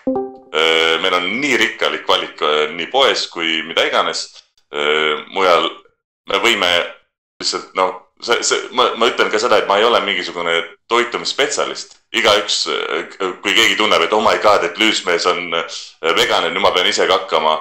ei, need on, toitumine on üldse tegelikult väga niisugune asi, et kui sa seda valesti teed või kui sa ei jälgi seda, siis sa võid tekitada endale väga suuri tervi-, tervisehädasid selles suhtes, et kindlasti ära hakka nagu mingisuguse moe pärast veganiks või, või ära, ära mingeid asju nagu mitte söö. see peab olema kõik nagu väga tasakaalustatud, aga lihtsalt eh, tänapäeval on hästi lihtne nagu need asjad enda menüüst välja jätta, saada kõik eh, vajalikud ained kätte ja see ei ole üldse nagu kallim. ja tänu sellele, et meil on nagu nõudlus selle järele, siis noh, näiteks ka a la kümme aastat tagasi meil ei olnud ju mingisuguseid taimseid piimu, piimasid saada, nüüd on need igas poes olemas, come on. ja selle asemel, et valida üks piim, sa saad valida kümnete piimade vahel, nii et selles suhtes, et kardetakse, et hästi paljust peab ilma jääma. tegelikult on hoopis nagu teine maailm, kus on nagu hoopis rikkalikumad asjad ka. no ma räägin, see on niisugune ränd, kuidas nagu võiks nagu igavesti nagu teha ja see on tegelikult hästi põhjalik teema, mis nagu, see ongi hästi mahukas, aga noh, ma ei tea, ma natukene siin nüüd mida, midagi ma siin nüüd rääkisin, ma ei tea. sellest tegelikult ei ole mõtet pikalt rääkida, sest see on nagu tõesti never ending, vaata. sellega me võime võtta selle teema ka kokku, aga keegi veel siin heidab ette, et ühes kättemaksukontori osas sõi tiiduga liha. tiiduga liha. Tiiduga liha ja, ja ei no seal kättemaksukord, no suhtes, et äh, jah, need asjad on ikkagi ju ette kirjutatud äh, ja nüüd, kus ma olen olnud pä- ka päriselus vegan. Fun fact, siis kui ma olin kättemaksukontoris vegan, siis ma päriselt ei olnud ja kohe seal, kui ma enam ei olnud, siis ma hakkasin päriselus, nii et seal käis nagu niimoodi risti täpselt. aga, aga kuna, kuna see on, noh, keegi, keegi ei sunni mind mitte midagi tegema selles suhtes ja alati on võimalik leida alternatiivi, nii et eh, see, ma eeldan, et see oli see, kus ma selle, võtsin selle burgeri, Tiidu mingi burgeri ja sõin seda, eks ole. ja see oli filmitud sellel ajal, kus ma olin päriselt vegan. see oli selles suhtes filmitrikk, et, et, et nad, nad väga-väga nagu rahulikult juurde, ütlesid, et kas, kas on üldse mõeldav, kas on okei okay,, et, et, et ma võtan selle burgeri ja sa võid ainult seda saia hammustada, et see on nagu noh, et, et kas see on sulle okei okay. ja ma, ja ma mõtlesin seda, et mida ma hakkan hoiamata inimestega, nad on niigi nagu toredad, nad on nagu hästi noh, isegi mul on seal eraldi mingi lõuna tuleb ja kõik eh, minu snäkid on eraldi ja kõik on nagu, nad on hästi nagu thoughtful selles suhtes minuga. siis ma mõtlesin, Mhm. et, et kuidas ma selle lahendan, on see, et eh, niikuinii tehakse ühe duubliga. ma lihtsalt võtan selle burgeri, panen selle endale nagu suhu. ma ei tee sellega mitte midagi, siis ma sülitasin selle välja ja siis äh, see oli hästi rõve burger, sest see oli mingi külmaks läinud Hesburgeri nagu burger, see oli nagu reaalselt, reaalselt rõve. ma arvan, et isegi nagu inimesele, kes nagu ei ole siukene nagu väärakas nagu mina ja sööb liha, siis ka see oleks temale päris rõve burger olnud. aga siis ma otsustasin, et äh, see näeb lihtsalt lahedam välja, kui ma niimoodi teen ja siis ma otsustasin, et jaa.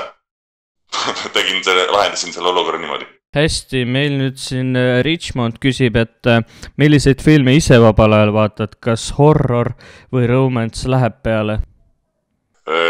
Romantika kindlasti läheb peale, horror äh, vähem, aga mulle meeldivad ka siuksed nagu mingisuguse kiiksuga filmid a la nagu Nolani mingid filmid, kus ongi nagu mingi Inception või, või, või Interstellar või mingi sihuke, vaata, et kus sul on nagu siukest nagu äh, noh, no mingi, mingi kiiks on ka asjal juures, aga no a la noh, muidu ma vaatan suht kõike, noh, komöödiad, mida iganes, Twenty One Jump Street, Pineapple Express, kuni, kuni mingid, mingid klassikad ja mida iganes, aga tõesti, ma mingi hetk tundsin, et ma mingit horrorit väga ei viitsi enam nagu mingit, mingit lisaärevust enda ellu nagu võtta juurde, nii et selle, selle ma nagu justkui natuke lükkasin enda, enda valikutest välja. Aga mängida sellist mingeid siukseid chick flick'e ja asju ma võin täiega vaadata selles suhtes, et mm. ma, ma, ma olen see tüüp, kes nagu ei, ma rämedalt hakkan töinama, kui on mingi siukene koht, keegi ka sureb ära, siis ma lihtsalt olen esimene vend, kes nagu kohe on pisarad nagu väljas. et ma ei ole see nagu, et jee, ma olen nii macho. lihtsalt, lihtsalt nagu taust on see, et, et mind on kasvatanud ema ja vanaema, nii et hea, et ma üldse püsti pissida oskan. Ma olen nagu selles suhtes nagu väga nagu siuksest äh, na- naiste perekonnast, nii et äh, ma ei, ma ei häbene, ma ei häbene oma emotsioone, eks ole. nii, meil nüüd Viktor ka siin all tahab sõna saada. ja meil Viktor soovis midagi küsida. Viktor, küsi. tere, tere, Viktor. tervist, kuidas läheb? ei saa kurta, päris tore on. sama, sama siin. ma jõuan, ma jõuan kohe koju, hakkan lihapalli sööma. Oh nice. ja, ja, klassik, klassika. Viktor ongi meil selline toksiline, nii et jah, ära, ära. see ei ole midagi toksilist, selles suhtes, et äh, ise, igaüks teab ise, mitu õlut ta võtab, nagu minu ema on eluaeg öelnud. eeldatakse, et see on mingi tohutu, tohutu mingi, et oh my god, ma lähen nüüd, hakkan vegani ees liha sööma ja issand, mis ta nüüd teeb. okei, noh midagi. igatahes äh, selline asi ka veel, et kas on keegi kunagi teile äh, vihjanud kuidagimoodi, et võiksite meie ühte kindlat äh, poliitikut parodeerida äkki?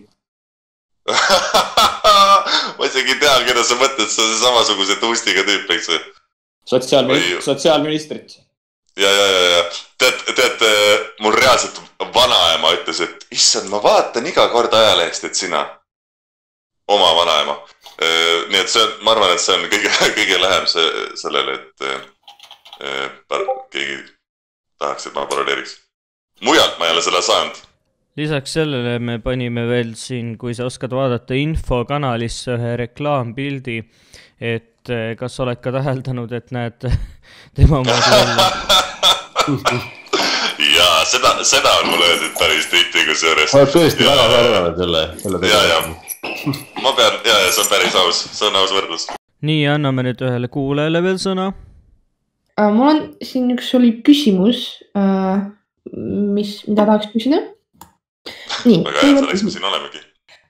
kuna ma ise õpin äh, näitleja, näit-, näitlejakoolis, siis mul on olnud sellised momendid, kus näiteks vaatad kellegi etendust või filmi ja siis, ja siis hakkad nagu hindama, eks ole, mingeid momente. ja siis mul on küsimus, et kas, kas teil on ka sellega raskusi, et näiteks, et sa vaatad kellegi filmi või etendust ja siis hakkab pihta mingi, ma tean seda näitlejat, me käisime kuskil lõu, mingi lõunat söömas ja nüüd ta, ta on selline lava peal või nagu kuidas see äh, objektiivne ja subjektiivne suhtumine äh, siis teiste etenduste, filmide ja muude momentide koha pealt on?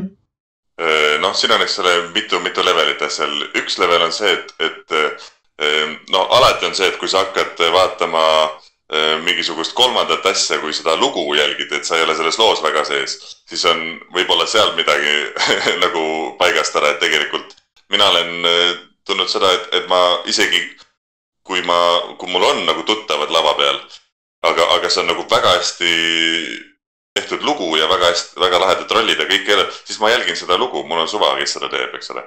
aga, aga selles suhtes äh, ma saan aru, mis sa mõtled, sest, sest äh, kui sa oled juba siin nii-öelda näitlejate maailmas, siis äh, põhimõtteliselt sa tunnedki neid kõiki ja, ja, ja sul ongi kogu aeg sihuke nagu tunne, aga, aga ei, see, see pigem ei sega. see on, see on nagu normaalne, vähemalt minu puhul seda, et, et nagu ikka hakkad nagu analüüsima ja, ja mõtlema, et no võib-olla jah, jälle see, et kui nagu on nagu igavam, kui ei ole nii loos sees, siis hakkad mõtlema, et mida mina teeksin või et aa, et kuidas nad seal seda on lahendanud või noh, siis hakkad nagu analüüsima mingit tehnilist poolt rohkem. et seda võib ka tekkida. aga üldiselt ma olen veendunud ikka, et kui on nagu hea lugu, siis sa oled kaasas sellega ja ilmselt siis ei teki seda võõrikslust ja mõtlemise hetke. aga kas pigem meeldib olla nagu backstage või vastupidi, vaadata nagu, nagu pealtvaataja? oi, kindlasti pealtvaatajana, sellepärast et äh, siis, siis ongi ju, siis, siis sa saadki seda lugu ju nautida, ega backstage'is sa ei saagi nautida, sa a la võid äh, backstage'is sa näed, kuidas näitleja tuleb lavalt ära, vaatab, et ah, mul on kuus stseeni on aega, läheb teeb tobi ja siis ma ei tea, lähed, ma ei tea, istud temaga suitsunurgas või, või vaatad, kuidas äh, inspitsent, ma ei tea, paneb mingisuguseid asju valmis või no eks ta on nagu tore vaadata. ma arvan, et seda on tore jälgida võib-olla inimesel, kes on nagu kes ei ole teatrimaailmas nii väga sees, et neid nagu telgitaguseid. aga tead, kui sa oled juba nagu natuke aega seda teed, teinud, siis sa juba kujutad ette, mis seal see, nagu lava taga on või telgitagustes on, siis see- no ega see ei ole ka nii, see ei ole nii eriline iga kord. see on suht, suht tavaline, et sa juba mõtled, et ah, mis tahad, mis ma ikka vaatan. noh, kuna ma ise just lõpetasin esimese kursuse ja mul lihtsalt selline, ma ei tea, see on lihtsalt nagu nii, nii omapärane ja täiesti imeline tunne vaadata tagasi ja vaadata, kuidas ma olin aasta tagasi. et kas oli ehk nagu sama tunne vaadata, kuidas nagu need noh, et milli-, millisena, millisena te olite inimesena katsetel näiteks ja siis peale esimest kursust või peale, ma ei tea, teist kursust või üldse peale lõpetamist, et mis on see areng toimunud, et kas on olnud mingeid hirme või mingisuguseid momente, mis äh, enne olete olnud, et mis no, ei, ma kunagi ei saa neist lahti ja nüüd, ja nüüd on nagu täiesti, täiesti teisel ar- arvamusel sellest. ja võib-olla, et eh, kuidas inimene äkki muutub seal teatrikoolis? kusjuures see on nagu reaalne nagu teema selles suhtes, et, et enne teatrikooli öö, nüüd tagasi vaadates ma olin ikka täiega nagu tatt, noh. et, et teatrikool on ikka täiega hea elukool ja üldse nagu inimesena kasvatanud ja ma arvan, et kui sa käid teatrikooli läbi, siis sa, kui sa, kui sa vähegi oled nagu asjaga kaasas olnud, siis sa, siis sa tõesti oled nagu hoopis teise kvaliteediga nagu inimene, kui sa enne olid. igaks juhuks, oota, ütle mulle, mis koolis sa käid, kas sa, sa käid Viljandis või Lavakas? mina käin üldse teise riigikoolis. teise Äh, riigikoolis, mis riigikoolis sa käid? Venemaa, ei, tegelikult see on Inglismaal um,. Rose Bruford, neil on Oo! lavakaga ja ja, ja, ja ma tean, tean, tean. väga lahe, väga lahe, et sa seal käid. seal on kindlasti jälle, jälle hoopis teistmoodi. seal on, seal on teistmoodi lihtsalt, see on nagu, kui ma nagu sinna tulin või nagu, kui ma nagu see aasta õppisin, ma olin lihtsalt nagu, et oh my god, ma ei teadnud, et selline teater on ka olemas, nagu see oli Jah. lihtsalt nagu, nagu vau wow.. aga ma olen natuke soolane tegelikult lavaka, lavaka inimeste peale, sest ma nägin neid, see aasta ma nägin neid ja ma tahtsin väga nendega sõbraks saada, aga nad ei tahtnud minuga. et umbes nagu, et me nägime üksteist, siis ma olin nagu tere, tere, eks ole, hei, hei, siis ma olin nagu, et noh, ma pidin nagu tundi minema ja siis ma andsin oma kontakti ja nad ei lisanud mitte kuskile, ma olin nagu, mis mõttes, milline kasutus on alati? kohutav. jah, ma ei, vot seal ongi, et see on väga individuaalne, et huvitav, et äh, ma tean, et seal lavakas on ka seda, et, et seal võib olla, et neil ei olnudki reaalset aega või on ka see, et lavakas on nii intensiivne, et seal reaalselt ei ole energiat, et seal midagi teha. aga teisipidi, nad on minu meelest, kui lavakad seal on, siis nad on ikka kuu aega seal. Et äh, Tots siis teab, mis, mis, mis mõtted neil olid, et miks nad siis ei võtnud, ega, aga ma ei tunne ka neid inimesi, ega ma ei oska öelda aga, aga tulles tagasi su eelmise küsimuse juurde, et, et, et kas, kas seda oli nagu tunda nagu, et, et sina vaatad esimeselt kursuselt tagasi. et mm., Mhm. et tegelikult see on naljakas, et, et nagu olles koolis sees, sa lähed oma kursusega kogu aeg arened nagu samas tempos ja seda ei ole nagu märgata. teed, teed asju, aga nagu ei saa aru, et, et kas areng toimub või ei toimu või midagi sellest. siis ma ise mäletan, et, et kui ma käisin nagu vist oli esimese aasta mingi teisel poolel, käisin, käisime vaatamas kursaga harrastusteatrite festivali ja siis, ja siis ma sain aru, et, et vau wow,, et tõesti on olnud nagu mingisugune edasiminek, sest oli tekkinud mingisugune analüüsivõime, mingisugused asjad, kus sa juba said aru, et ahah, ta mängib seda niimoodi, see ei tule väga hästi välja, ma millegipärast ei usu, aga ma juba tean, kuidas nagu ma saaksin seda parandada. et, et nagu mingid siuksed hetked tekkisid ja see ilmselt ähm, jah, see on, see on, see on nagu lahe hetk, kui sa nagu ära näed selle, et vau wow,, et tegelikult see töö on nagu vilja kandnud. aga ma küsiks korra veel selle äh, Rose Buffordi kooli kohta, et sul kindlasti abikaasa on jaganud ju muljeid, et äh, kuidas seal Inglismaal ol, oli olla vahetusõpilane, et, et, et äkki midagi nagu sellest rääkida? ma, ma, ma nii väga, ma ikkagi nii väga ei tea sellest või, või, või kui me ikkagi, ma käisin isegi neil külas seal, sest noh, ta oli kuu aega ikkagi ära ja siis oli nagu tore seal Aha. korra käia külas, vaadata, mis, mis elunad elavad seal ma sain aru, et oh, tead, see on jälle nii individuaalne ja iga, iga kursus teeb seal mingeid omi asju mm. -hmm. Neil olid ka mingisugused nagu, ma ei saanudki aru, kas mingid, iga, iga kord seal ei ole ka nagu õpet selle kooli juures, vaid et on mingisugused workshop'id või mingid inimesed annavad mingisuguseid asju ja need tihti võivad olla seda, et, et tegelikult tahaks teha mingit päris asja või nagu mingit päris workshop'i, aga tehakse sihuke nagu hästi nagu sihuke basic või mingi sihuke kuidagi underwhelming mingisugune asi. et see võib ka juhtuda ja see on nagu, ma arvan, et jälle hästi-hästi nagu individuaalne inimeste puhul. Äh, aga tõesti, ma ei oska seda väga hästi kommenteerida, sest, sest ähm, mina ei olnud see, kes seal oli ja ma sihukese nurga alt isegi mm -hmm. ma enam ei mäleta vist väga hästi, mis ta seal tegi aga jäi ta rahule? Muidu. ei kindlasti, absoluutselt, see on ikkagi nagu hoopis teine keskkond ja, ja, ja. nagu. kindlasti tegelikult jah. kas me saame seda teemat ka äkki äh, arutada, et äh, kuidas on näitlemine võrreldes, Eesti võrreldes äh, muu maailmaga, et kus on kõige parem näitekool? vaata jälle ma ei oska öelda, kus see näitlejaõpe on olnud, sellepärast et parem, sest ma olen ainult käinud Eestis koolis Äh, aga, aga mõeldes nagu mingisuguse taseme vahe peale, siis äh, äh, kindlasti see vahe on. seda ei ole mõtet isegi nagu kuskilt otsast hakata eitama, sellepärast et kui me vaatame isegi rahvastiku arvu või näitlejate arvu, mis tähendab ka teisipidi konkurentsi nagu konkur-, no kui, kui tihe see konkurents on, siis Ameerikas nii-öelda need inimesed, kes käivad audition itel ja üritavad saada mingeid rolle nad ju hoiavad ennast reaalselt, täpselt jõuame sinna samma tagasi, et nad hoiavad ennast ise eh, kogu aeg sihukeses vormis, et, et nad oskavadki laulda, steppida, tantsida. lisaks veel võtavad mingeid acting lesson eid, mingisuguseid erinevaid aktsendi, mingisuguseid tunde kõrvalt, et olla kuidagi sellest massist nagu mingi, mingisugune eh, samm eespool. Versus, versus siis see, et Eestis ähm, sa, sa, sa pigem saad lihtsamalt tööd, sellepärast et, et noh, Eesti on nii väike ja sa saad noh, ka ma enda näitel, ma olen saanud ju peaaegu kõiki asju üldse teha siin Eestis, mis nagu näitleja teha saab. aga lihtsalt selle eest palka saab ülivähe vaata, et see on nagu teisipidi, et, et Ameerikas sa teed selle ühe rolli ja eladki mingis majas juba. et, et seal on nagu ka need, need asjad on hoopis teiste nagu kausside peal et kui keegi mõtleb siin nüüd näitlejaks saada, siis sa kinnitad, et see on tõsi, et äh, Eestis vist väga palju sellega palka ei teeni. tead, kui sa lähed näitlemisse raha pärast, siis sa, siis midagi on juba valesti, sellepärast et äh, miks sa siis lähed näitlejaks? sa, sama hästi sa võid lihtsalt äh, minna alla Elu kahekümne neljas, lihtsalt see kuulsus, vaata. noh. rannamajja minna. ja mine rannamajja, palun kuulaja Richmond küsib nüüd siin, et kuidas lavanärv aastatega muutunud on?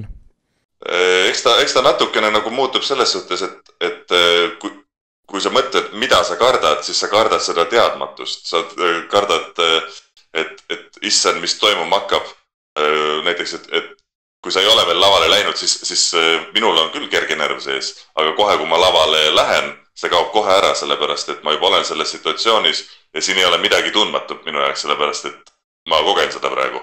ma ei suuda, noh, alati sa enda peas suudad nagu hullemaid asju nagu välja mõelda, kui tegelikult asi väärt on. et, et äh, selles, selles mõttes see, ma arvan, et aastast aastasse äh, äkki läheb ka väiksemaks, sellepärast et sul on nii palju kogemusi juba, sa mõtled, et noh, et ja ma olen juba siin nüüd kümme aastat olnud näitleja, et, et noh, kindlasti mingi väike lavanärv on, aga teisipidi ma tean, et seal, noh, ma enam-vähem tean, mis mind ees ootab, nii et mul ei ole nagu mõtet nagu põdeda. aga eks ta mingisuguse ebakindluse pealt tuleb, et noh, et, et sa ikka kardad ju lavale minna siis, kui sa näiteks tead, et oi, sul on mingi hästi raske stseen tulemas, näiteks sa pead äh, laulma, aga sa ei ole väga kindel, kas sul, ma ei tea, hääl peab täna vastu või et kas sa oskad selle laulu või et kas sul on see tohutu pikk monoloog peas või või, või et kas see tants tuleb sul välja või et kas sa oskad täna maadud selle äh, kolmekordse tagurpidi salto ikka õigesti. et noh, mingid siuksed asjad võivad nagu alati seda nagu juurde tekitada, aga, aga noh, reeglina see ikka kaob. keegi ütles väga hästi ka seda, et, et kui sa noh, vaata näitleja versus näitleja see äh, lavahirm, et äh, kui sa oleksid bussijuht ja kardaksid bussiga sõita, siis ära ole bussijuht.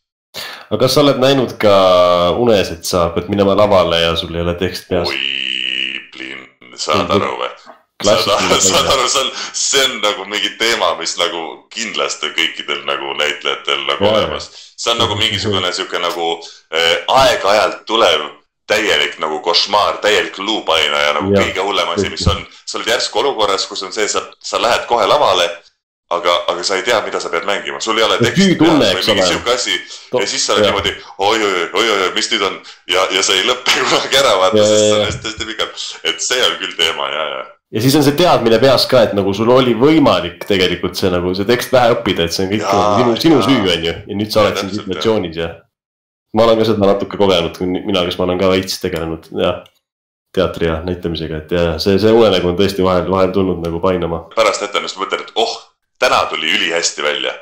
siis, siis saalis võib-olla on just see, et ma ei tea, täna vist ei olnud nii hea etendus Te. ja teisipidi mul on juhtunud samamoodi, et, et sihuke tunne, et no mine pekki, no ma andsin nii halva etenduse täna ja tullakse lihtsalt oh my god.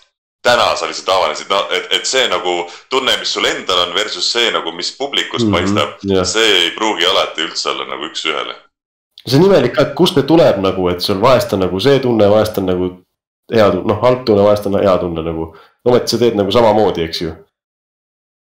nojah, selles suhtes, et ikkagi me oleme ju inimesed ja meil on erinevad päevad ja sel mm. -hmm. päeval on erinevaid asju juhtunud ja ja ja ja ka see, et, et kui võib-olla sa oled just nagu enda meelest ülihästi läinud sinna rolli ja emotsiooni sisse, aga, aga see kuidagi ei pruugi läbi tulla alati.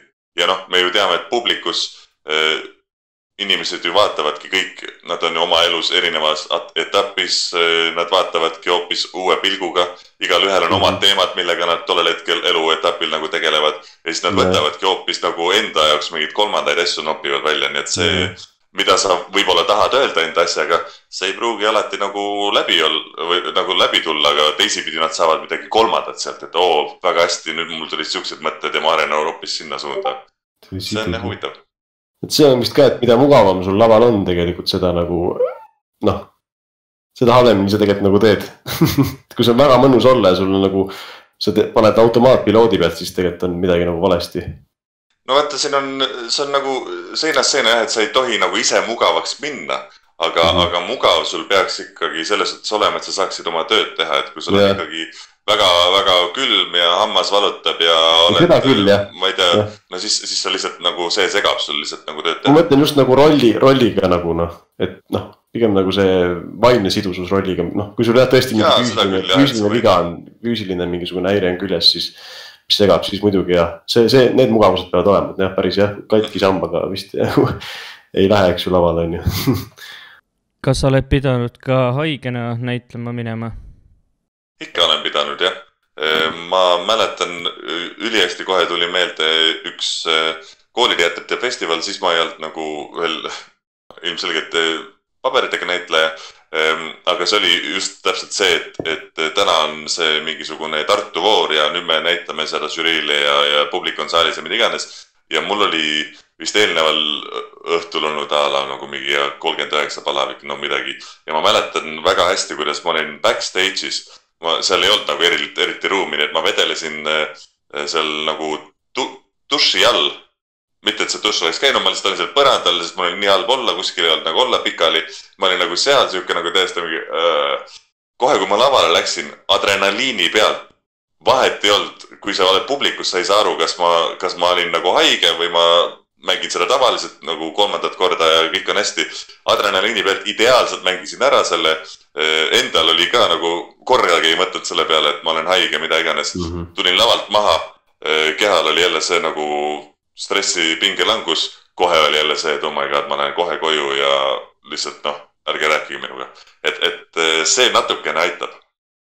nii, anname nüüd vahepeal jälle Liinale sõna, palun tere, mina jälle siin äh, tahtsin küsida, et äh, millal striimis äh, Simsi hakkad mängima tead, ma olen kunagi mänginud Simsi küll, Sims ühte, Sims kahte, ma mäletan, mul oli isegi mingisugused a la house party'd ja värgid sinna juurde ostetud. see on mm, -hmm. kõik on, see Sims on väga tore mäng, aga see on arvutile ja minu donation goal, mida minu toredad vaatajad on tiksutanud täis, on see, et ma ostan endale gaming PC ja siis ma saan teha äh, GTA viis äh, RP-d ja, ja täpselt Sims'i ja Minecraft'i, kõiki neid asju, mida ma praegu konsooliga teha ei saa. et, et ma arvan, et see on pigem selle taga. et, et mul selles suhtes nagu ei ole mingit teemat, et oh my god, ma ei hakka kunagi Sims'i mängima. Äh, miks mitte, ma võin proovida igast asju selles suhtes, et ma võin mingisugust, ma ei tea ma ei tea, mingi väga X-mänge ka proovida kakskümmend neli tundi Tetrist mängida, vaadata, kes enne hulluks läheb, mina või vaatajad? ma arvan, et vaatajad. no pigem jah, keegi lihtsalt ei vaata seda kas sa tead ka juba, millal järgmine stream tuleb, et lähed võib-olla siit äh, kohe ära pärast ja paned striimi tööle või? ei, mul, mul seda ei ole, mul kahjuks ei ole Eh, sihukest eh, oma maja, kus mul on, eh, lähen oma mingisse helikindlasse ruumi ja panen seal ükstapuha, mis, mis kellaajast, mis kellaajani.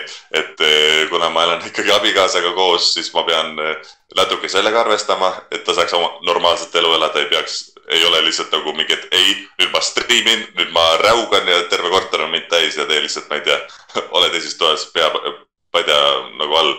et, et kindlasti see mängib rolli ja noh, praegu mul on, noh, kui ma võin niimoodi äh, väga shamelessly, shamelessly nagu plug ida äh, enda tegemisi, siis ma praegu, praegu ma tegelen ühe projektiga, mis on suurim asi, mida ma olen vist senimaani teinud ja mis on minu kauaaegne unistus, ma olen tahtnud teha stand-up'i ja ma teen seda nüüd äh, hästi mm. suurelt, äh, kui te, kui te teate, kes on Tõnis Ninemets ja mis mastaabis tema tegi, siis ma teen Point. täpselt sama, täpselt samade inimestega ja kindlasti sama suurelt seda hakkan mm. ka pihta tegema, nii et, nii et ühesõnaga praegu käivad selle proovid. Eh, sest me tahame sellega tulla septembri lõpus välja juba. Nii et, nii et tänu sellele või, või kahjuks sellepärast hakkab ka nagu minu striimi nagu tihedus natuke kannatama aga, aga kui ma nüüd mõtlen, millal mul, mul võiks olla järgmine, siis äh, võib-olla isegi homme, kuigi homme ma olen koos Tootsiga, me teeme seda, on see Fortnite'i turniir, mida me õhtul kommenteerime. aga mul on järgmine nädal suht siukene, noh, paar kättemaksukontori võtet siin on, aga ma arvan, et ma kindlasti mingil päeval teen. nii et äh, ma ei tea, kui sa oled follower Twitch'is, siis sa saad kohe ju endale selle notification, et Lüüsmees on laivis ja ma tavaliselt katsun äh, Instagrami ka panna mingisuguse story üles, et davai, läks lahti, nii et noh, et kuna mul kahjuks vaata, ma ei ole PC-l ja ma ei saa nagu Discordi seda infot nagu niimoodi nii lihtsalt üles panna. noh, kindlasti saan, aga ma lihtsalt ei ole selles nagu nii pädev, siis ma pean neid teisi kanaleid ka. ja sihuke asi, et Kristjan, sa tead, kes on HD Tanel või? jaa. mis su arvamused tast on? Äh, ma ei oma arvamust, sellepärast et ma tean teda täpselt nii palju, et, et ma olen nagu näinud paari videot temast Youtube'is. ma tean, et ta äh, sõidab äh, ka elektrilise longboard'iga ringi, ka mida ka mina teen, mis on üks sihuke lemmikasi, millega ma üldse suvel nagu liigelda. ja ma tean, et ta vist ka striimib, aga ma tean, et ta teeb Youtube'is mingisuguseid, eks ole, mingeid nagu tehnika asju rohkem aga ma, no ma ei ole nagu kursis, nii et mul ei ole nagu mingit arvamust temast. mis ta tegi siis?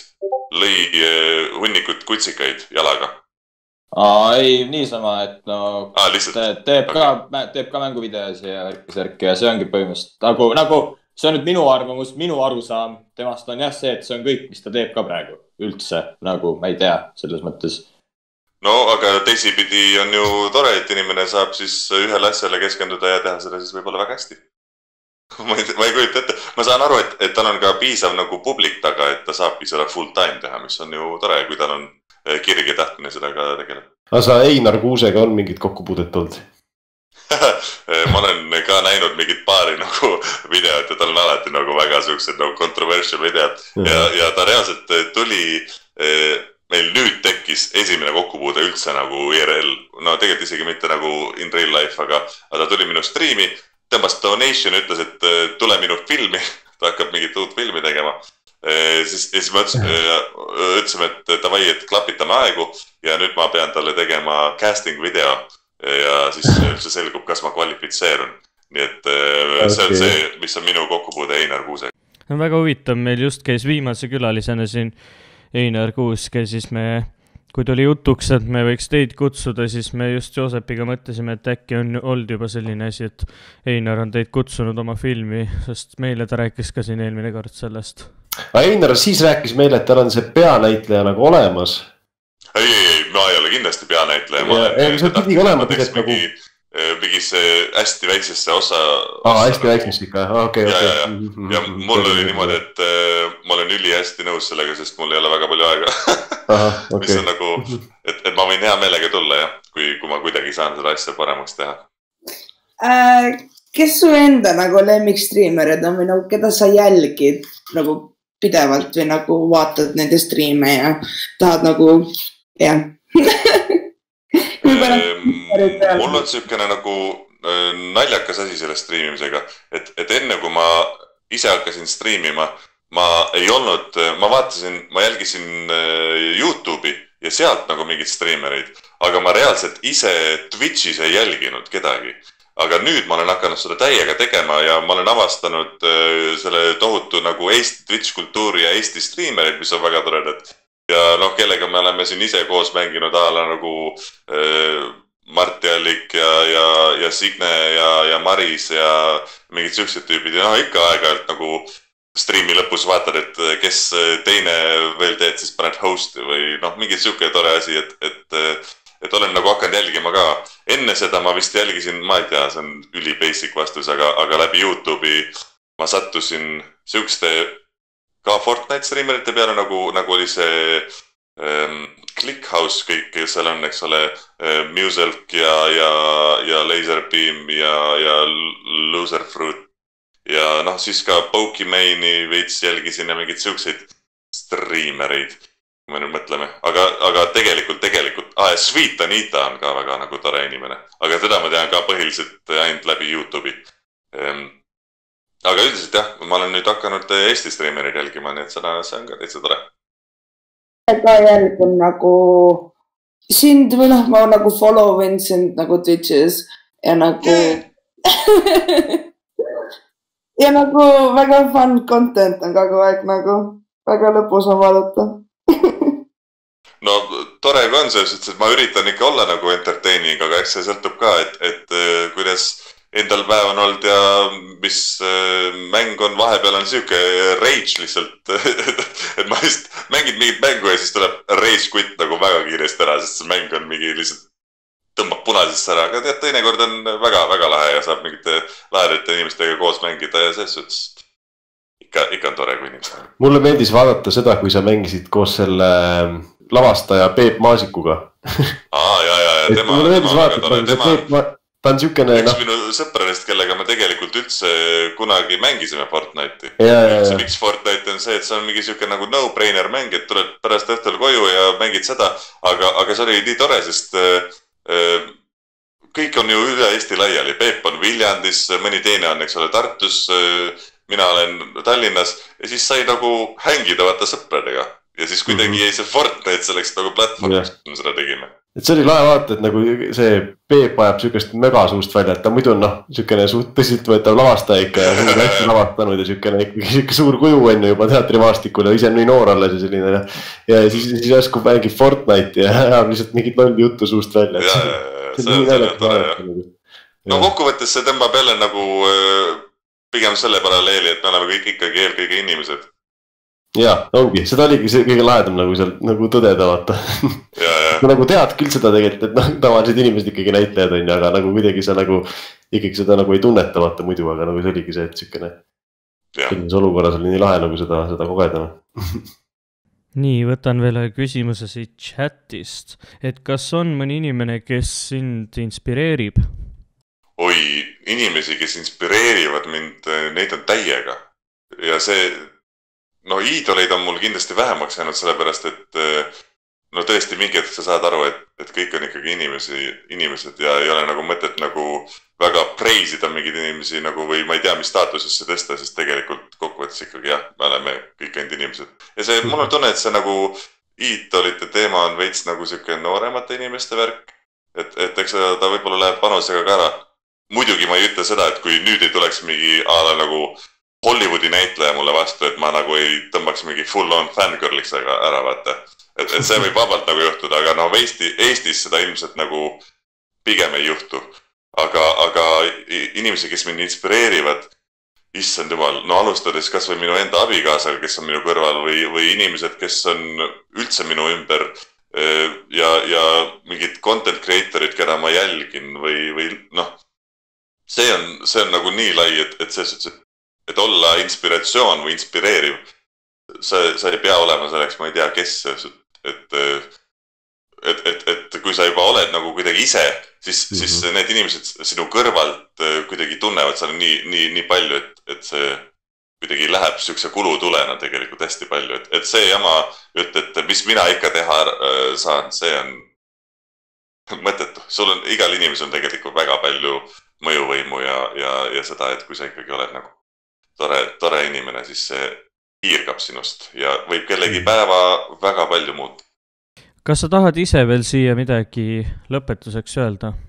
ma ei teagi, ma, ma niimoodi ei, ma ei oska midagi öelda, kindlasti peaks midagi hästi ilusat ütlema, aga, aga mul, ma ei tea, ma olen teiega, mul on tore teiega siin rääkida ja ma ei, ma ei, ma ei tea, kui, kui roosa mannaksin on vaja nagu tõmmata, et kui keegi tahab midagi küsida, võin kiiresti siin üritada vastata midagi. Kusjuures äh, ma peangi seda nagu ütlema, et, et see on nagu, ma olen mingeid podcast'e ja nagu intervjuusid ikka andnud aga see on nagu väga lahe, mulle, mulle meeldib see nagu igatahes kümme korda rohkem, kui nagu minna tavalisse podcast'i.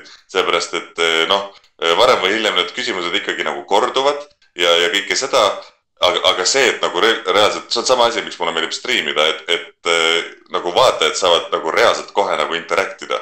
Ja sa saad nagu kohe nendega nagu noh, vastata mm -hmm. või, või mm -hmm. kohe, kui on midagi nagu noh, see, see on lahe, see on lahe ja, ja see on lahe, et te teete seda aga suured tänud, Kristjan, et sa tulid ja ma loodan, et teile meeldis kuulata meie Allotri esimest podcast'i. jälgige siis kindlasti sotsiaalmeedias või siis meie veebilehel allotre.ee ning kui soovite järgmisest podcast'ist ka osa võtta, siis ühinege meie Discordi serveriga.